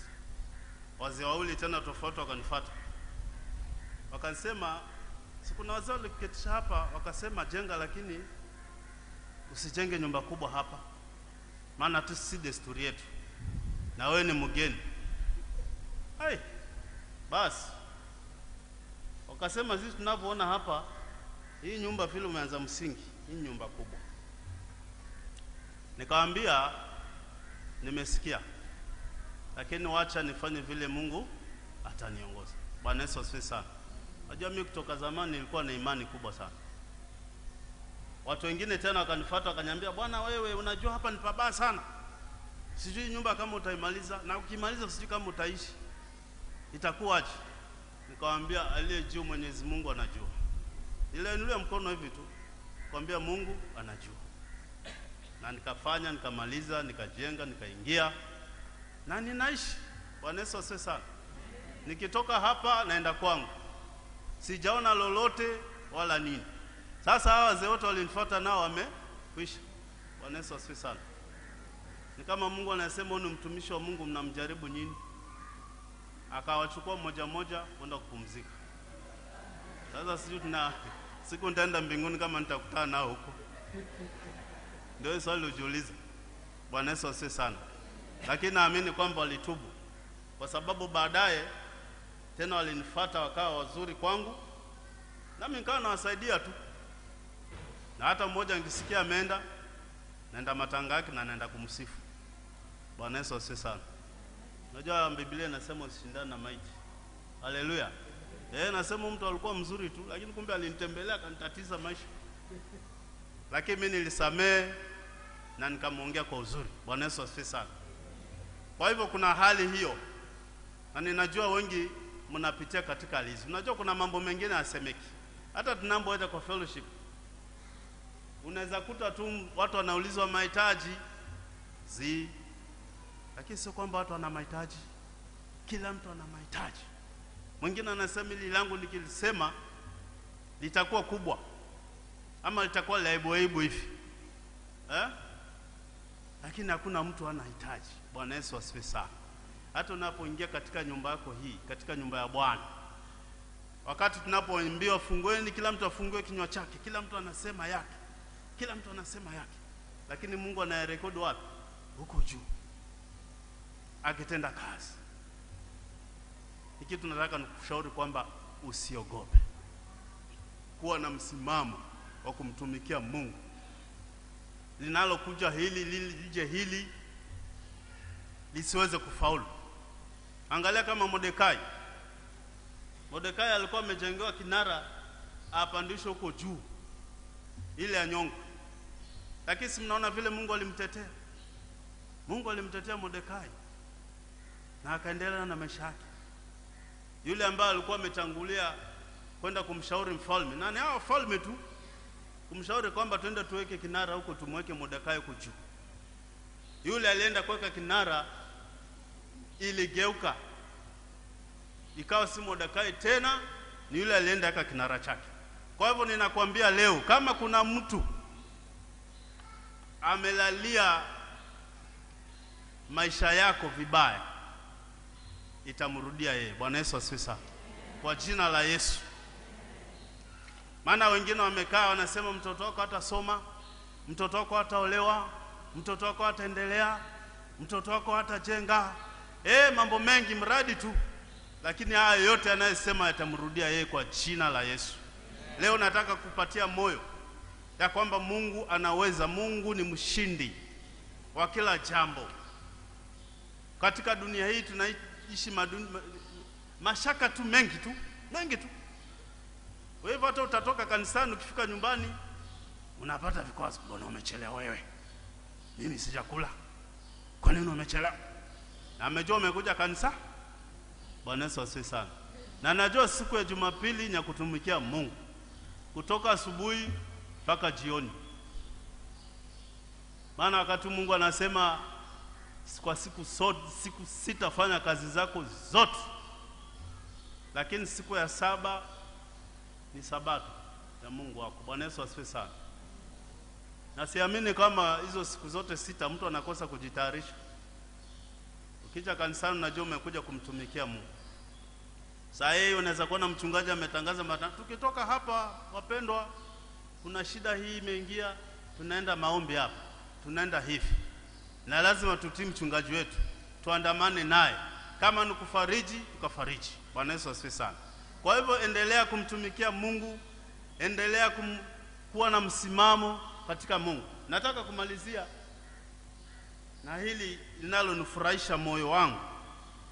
Baada hayo yote, huyu mfalme aligundua kwamba alijua kuna Mungu ambaye anaweza. Bwana Yesu asifiwe sana. Nataka tu tumalizie na huu mstari wa mwisho wa 30 29, tuanze 29, na nataka huu mstari tuusome sote. Nataka tunaposoma uangalie jirani yako eh? Kwa tabasamu tu. Ah, watuwekee mstari wa 29 Daniel tatu mstari wa ishirini na tisa. Asante sana. Haya, tusome sote. Basi mimi naweka amri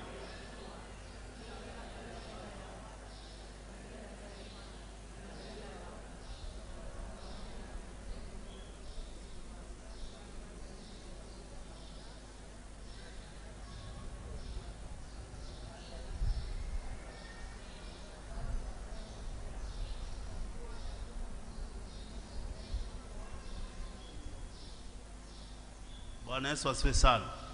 Turudie tena, ninataka pale kumewekwa amri. Najua mambo ya amri, ukitoa amri umeto na yeye alitoa amri kwa wale wote ambao walikuwa wamemsikiza.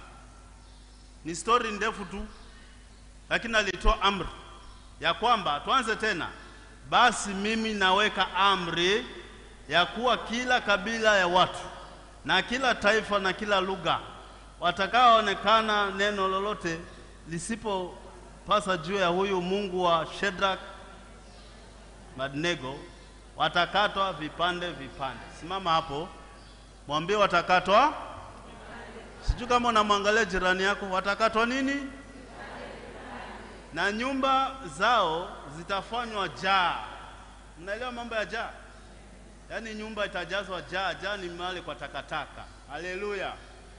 Kwa kuwa hakuna Mungu mwingine awezaye kuokoa namna hii. Kisha mfalme akawakuza Shadrach na Meshach na Abednego katika wilaya ya Babeli. Pigeni Yesu makofi mazuri. Basi mnaona ushindi huo? Yes, kama unamtumikia Mungu na unamwamini una, una Mungu, hayo yote yatakupitia kama mwanadamu lakini tazama yule unayemtumikia. Shadrach na Abednego alisema yule Mungu tunayemtumikia. Bwana Yesu asifiwe sana. Yule Mungu tunayemtumikia, kwa neno hilo tu liliwasevu hawa watumishi wa Mungu.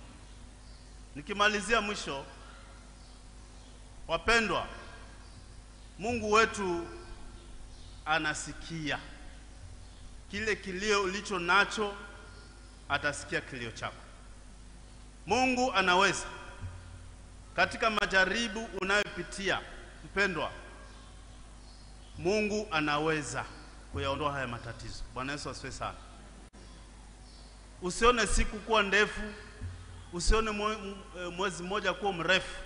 Unajiuliza mambo haya yataniondokea lini? Siku mia moja kwa Mungu ni siku mo moja. Bwana Yesu asifiwe sana. Ukiangalia kama Habakuk, ukisoma kitabu cha Habakuk kuanzia mstari wa kwanza kwenda chapter 2 chapter 3 Habakuk katika first eh, chapter 1 alikuwa ni mlalamishi mpaka anauliza Mungu, e Mungu, hata uoni usikii ile matatizo mimi ninayopitia. Bwana Yesu asifiwe sana. Akajibiwa ya pili, ya tatu, Habakuku akapata uponyaji, akapata mwongozo, akapata furaha, akapata amani. Bwana Yesu asifiwe sana. Pengine unajiuliza kama Habakuku, unatamani hata kupanda juu ya kilima uwe karibu na Mungu akusikie, lakini unaona Mungu akusikii, Mungu alali Mungu anakusikia, Mungu anakutendea usiku na mchana. Wewe unapolala usiku, usingizi, unajua nini kinachopita ndani ya nyumba? Hujui. Bwana Yesu asifiwe sana.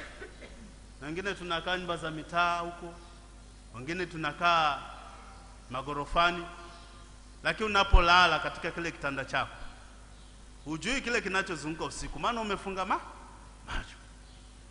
Lakini unapofungua macho unajua eh, kumbe Mungu amenyamsha, na hapo hapo piga goti na umshukuru. Bwana Yesu asifiwe sana. Mungu pia ana nguvu juu ya maisha yako. Hakuna mtu mwingine mwanadamu yote aliye na nguvu kuliko Mungu. Mungu ana nguvu. Mungu ni mtetezi, atakutetea kwa hali zote. Maana hakika katika community unaweza kusingiziwa mambo mengi hata hujayafanya. Bwana Yesu asifiwe sana. Eh, mtu siku moja tu amekuja unamwambia ai, leo chakula imeisha. Ni leo tu. Lakini utaenda kutangazwa, ah, yule mwanamke ni mchoyo. Ni mchoyo, utatangazwa dunia nzima. Na wewe hata si mchoyo. Bwana Yesu asifiwe sana. Lakini siku hiyo umepungukiwa, ukatengeza kitu kidogo, mgeni akaingia ghafla, lakini utatangazwa, lakini Mungu atakutetea. Bwana Yesu asifiwe sana. Mungu ni mshindi na anainua. Bwana Yesu asifiwe sana. Mungu ni mshindi na anainua. Nataka kumalizia na Marko 9:50. Neno linasema chumvi ni njema, lakini chumvi ikiwa si chumvi, mtaitia nini ikolee? Muwe na chumvi ndani yenu, mkakae kwa amani nyinyi kwa nyinyi. Kwa jina la Mungu Baba, Mwana na Roho Mtakatifu. Amen.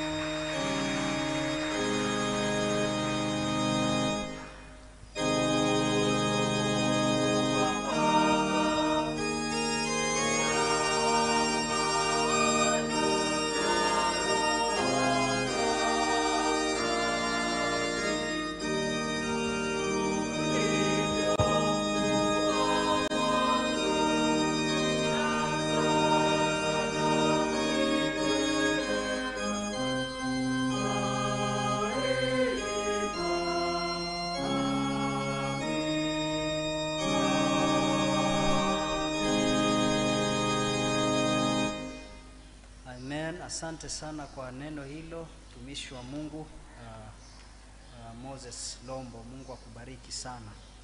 Basi tusimame, tutaendelea na maombi, ile sehemu ya ishirini na moja, maombi ya toba. Sikieni maneno ya kutia moyo na changamoto yaliyosemwa na Mwokozi wetu Yesu Kristo Bwana wetu kwa wote wanaomtii kwa kweli. Mtu yoyote akitaka kuwa mfuasi wangu ni lazima ajikane nafsi yake, auchukue msalaba wake kila siku anifuate, maana mtu anayetaka kuyaokoa maisha yake mwenyewe atayapoteza, lakini anayapoteza maisha yake kwa ajili yangu atayaokoa. Njoni kwangu ninyi nyote msumbukao na kulemewa na mizigo, nami nitawapumzisha. Basi ninyi nyote mlio na toba la kweli na la moyo na mlio na upendano na majirani zenu na pia mnaokusudia kuishi maisha mapya na kuzifuata njia za Kristo Bwana wetu, karibuni kwa imani mkaipokee sakramenti hii takatifu kwa faraja yenu. Basi sasa tukae sote tuziungame dhambi zetu mbele za Mwenyezi Mungu kwa unyenyekevu. Mwenyezi Mungu mwenyezi en, mwenye enzi, muumba wa vitu vyote, ulituumba sisi kwa mfano wako mwenyewe, ila sisi tumejichafua na kuharibu mfano wako kwa kukataa upendo wako na kuwachukiza majirani zetu. Tumetenda maovu na tukakosa kutenda yaliyo mema. Tuasikitikia sana na kuyatubia makosa yetu, tutakase na kutusamehe utuumbe upya na utuongoze kwa Roho wako mfariji. Tunaomba haya kwa Yesu Kristo Bwana wetu, amen. Mwenyezi Mungu ambaye upendo wake tab, ni thabiti na ni mkuu kama mbingu zilivyo juu ya dunia, awaondolee mbali dhambi zenu kama mashariki ilivyo mbali na magharibi. Bwana Mungu aimarishe maisha yenu katika ufalme wake, awajalie haki yake hadi siku ya mwisho kwa huruma yake Yesu Kristo aliye kuhani wetu mwenye huruma. Amin. Asante Baba kwa msamaha. Twakaribia meza yako kama watoto wako, sio kwa kudhania, bali kwa kuhesabiwa haki, si kwa kujitumainia wenyewe, bali kwa neno lako. Twenye njaa na kiu ya haki, twaomba kwamba mioyo yetu ishibishwe na mwili na damu ya mwanao Yesu Kristo mwenye haki. Amin. Sote tusimame ili tuweze kupeana ishara ya amani baina yetu sote. Amani ya Mungu Baba ni ya. Amani ya Mungu Baba ni ya. Amani ya Mungu Baba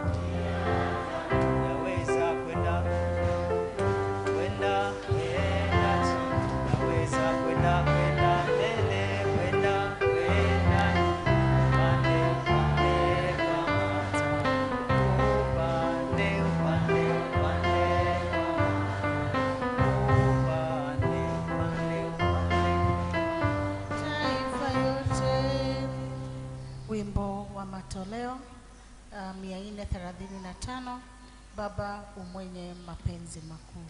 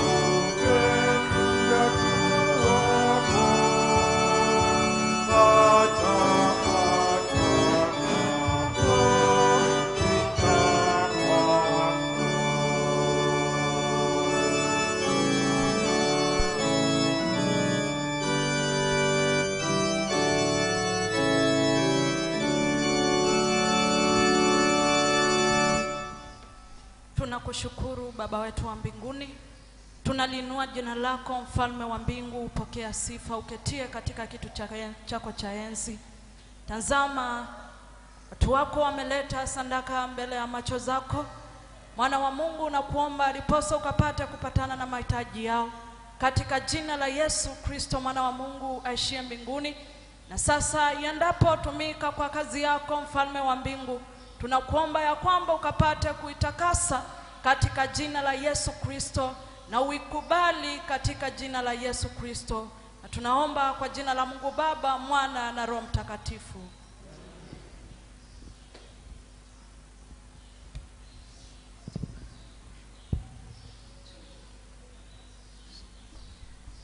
Asante, tutaendelea kusimama kwa ajili ya shukrani na ukumbusho. Je, Baba Mungu yuko pamoja nasi? Je, Kristo Yesu yupo miongoni mwetu? Yupo. Je, Roho Mtakatifu yupo hapa? Yupo Na huyu ndiye Mungu wetu, Baba, Mwana na Roho Mtakatifu. na sisi tu watu wake. Tumekombolewa, Inueni mioyo yenu twainua kwa Bwana. na tumshukuru Bwana Mungu wetu. Ni haki kwamba tumshukuru na kumsifu. Ni haki tena ni furaha kwetu kukushukuru na kukusifu, e Baba mtukufu, Mungu uliye hai, mhukumu wa ulimwengu, muumba mwenye kuturuzuku, mwokozi na mpaji. Kutokana na mtu aliyekuwa wa kuhamahama, ulijifanyia jamaa yako. Kwa taifa lilogandamizwa, uliwapa kiongozi. Kwa taifa lilokosa mwelekeo, ukawachagulia mfalme. Kwa watu waliokuwa wakaidi, uliwatuma manabii. Katika siku hizi za mwisho umemtuma mwanao Yesu Kristo, mfano wako mtimilifu, kutuletea ufalme wako, kutudhirishia mapenzi yako, kufa, kufufuka, kutawala na kujifanyia upya watu wako kupitia kwake. Leo Bwana umetumiminia Roho wako Mtakatifu kutujaza nuru na uzima.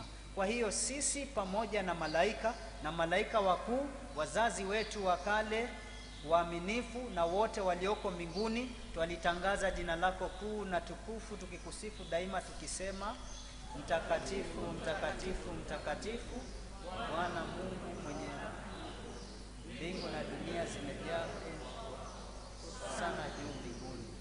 Mwenyezi Mungu umilikie vyote, twakushukuru leo hii kwa kumtoa mwanao Yesu Kristo Bwana wetu kwetu afe msalabani kwa ajili yetu sisi unayetuia vyote. Twaomba wakati huu Bwana utumiminie Roho wako ufariji tunapokumbuka mwanao Yesu Kristo alivyotuamuru kupitia vipawa hivi vya uumbaji wako. Usiku ule ule aliosalitiwa, yeye Yesu alitoa mkate akashukuru, akaumega, kisha akawapa wanafunzi wake akisema, twaeni mle, huu ndio mwili wangu utolewao kwa ajili yenu, fanyeni hivi kwa ukumbusho wangu. Amen. Mwili wake ulibarikiwa kwa ajili yetu. Na vivyo hivyo baada ya kula alikitwaa kikombe akashukuru, akawapa akisema, nyweni nyote, hii ndiyo damu yangu ya gano jipya imwagikayo kwa ajili yenu na watu wengi kwa msamaha wa dhambi. Fanyeni hivi kila mnywapo kwa ukumbusho wangu. Kristo amekufa, Kristo amefufuka, Kristo amekuja tena. Na leo tu ndugu na dada, kwa damu ya Kristo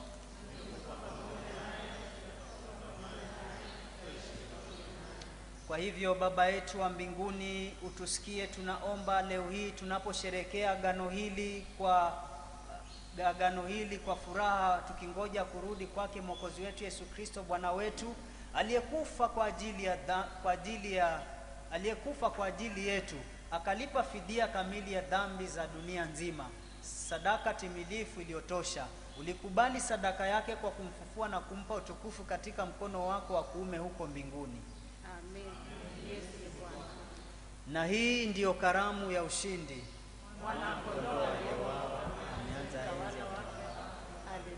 Sote tukae na kama alivyotufundisha Mwokozi wetu Yesu Kristo Bwana wetu, tuombe sala ya Bwana.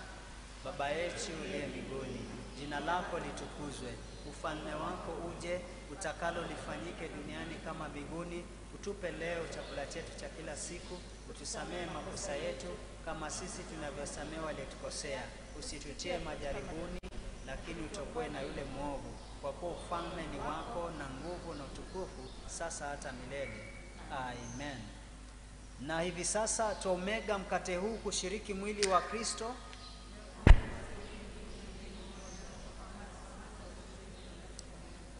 na kikombe hiki cha baraka tunachokibariki, karibuni kwa imani, mpokee kwa imani na tumaini. Kristo ndiye mwenye Kristo Yesu yu hai milele. tu hai kwa kuwa yeye yu hai. Yu hai, yu hai, asifiwe. Amefufuka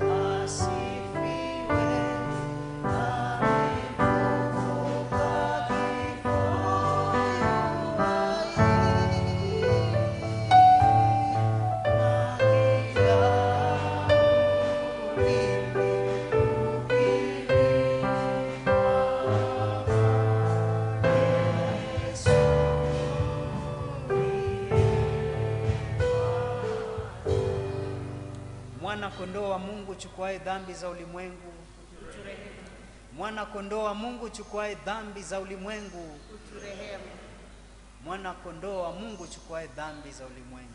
utupe amani yako.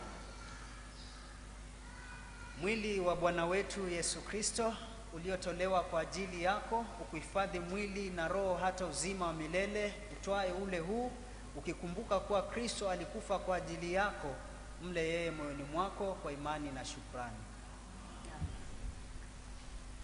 Damu ya Yesu Kristo iliyomwagika kwa ajili yako ikuhifadhi mwili na roho hata uzima wa milele.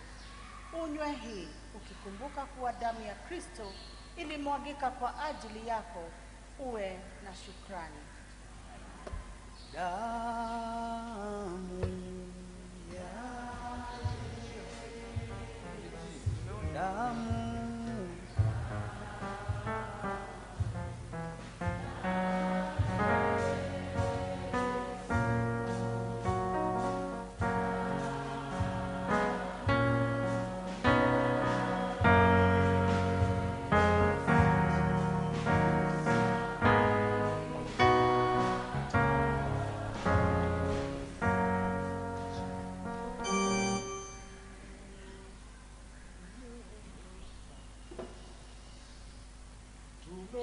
Domnul, Tu ne așa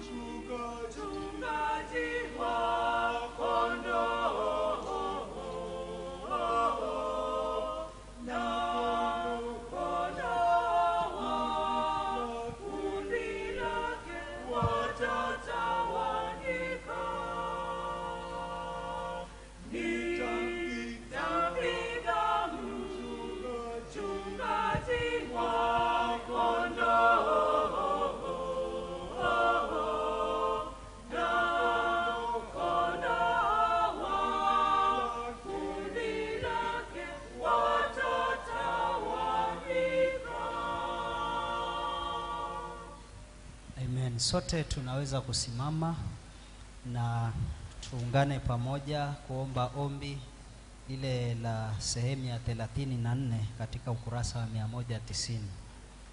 Sote tuweze kuomba. Ee Mungu wa wazazi wetu wa kale, Mungu wa jamaa zetu, mbele yako vizazi vya wanadamu hupita na kutoweka. Twakushukuru kwamba tukiwa ndani yako twakaa salama daima.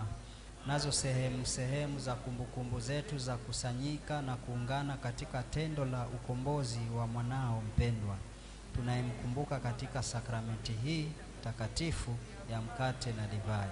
Utusaidie ili tuweze kuenenda kila siku katika ushirika wa watakatifu, tukitangaza imani yetu na msamaha wa dhambi na kufufuka kwa mwili. Ututume sasa kwa uweza wa Roho wako Mtakatifu, tukaishi na kutumika kwa ajili ya sifa na utukufu wa jina lako. Amen.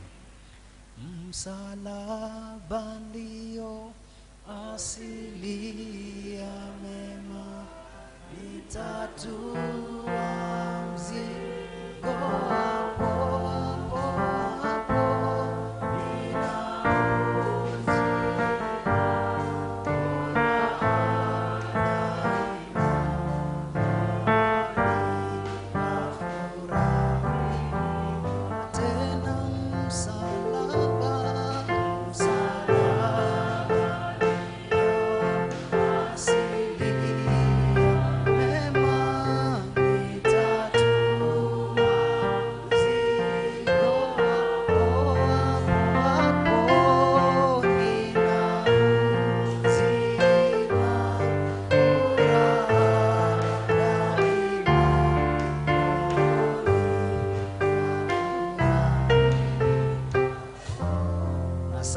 mashaka yetu yote tulionayo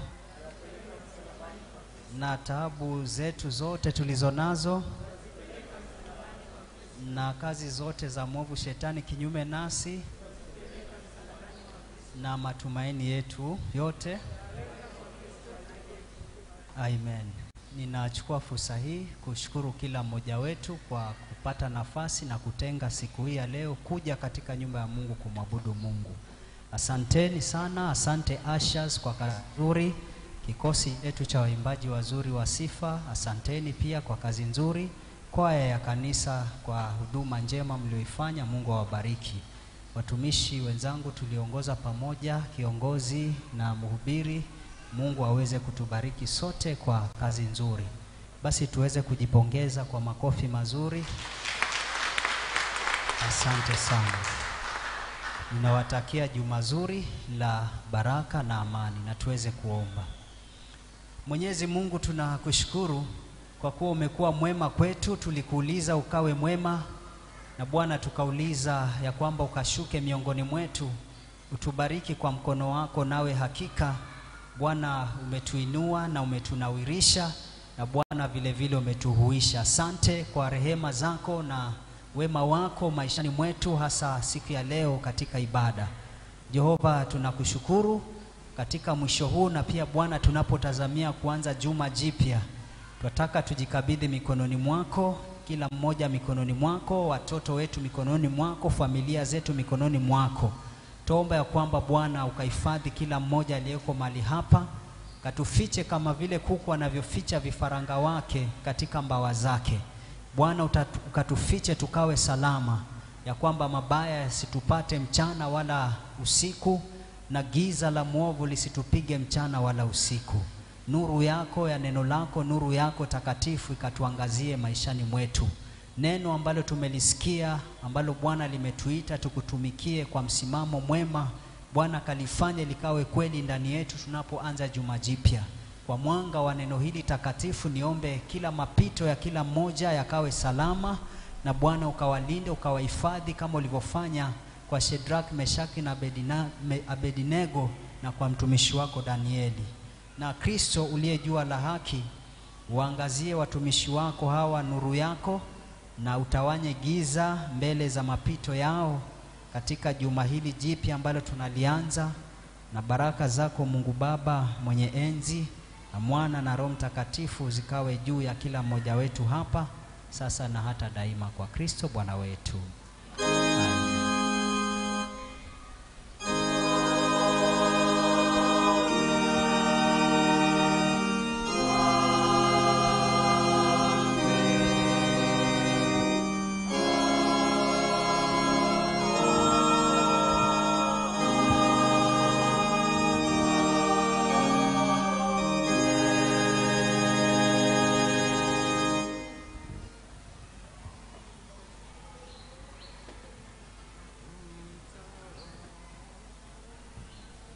Wimbo wetu wa kutoka ni mia tano na kumi na tatu mtawala wa Galili, tukisaidia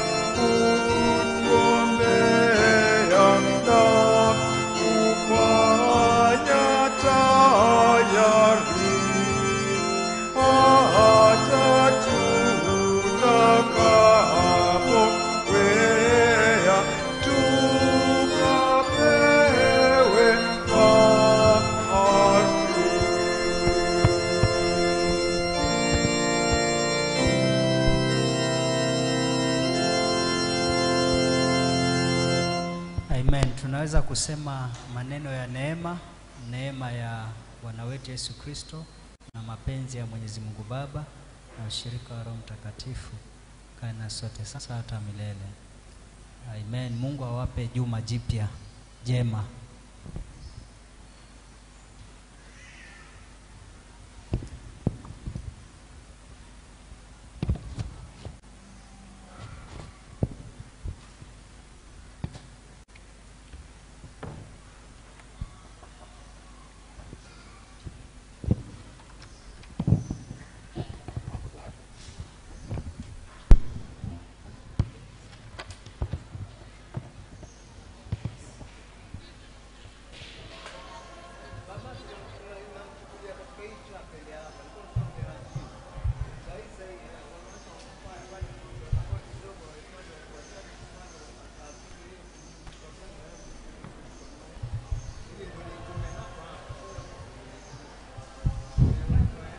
Bwana Yesu asifiwe. Wamama, Bwana asifiwe.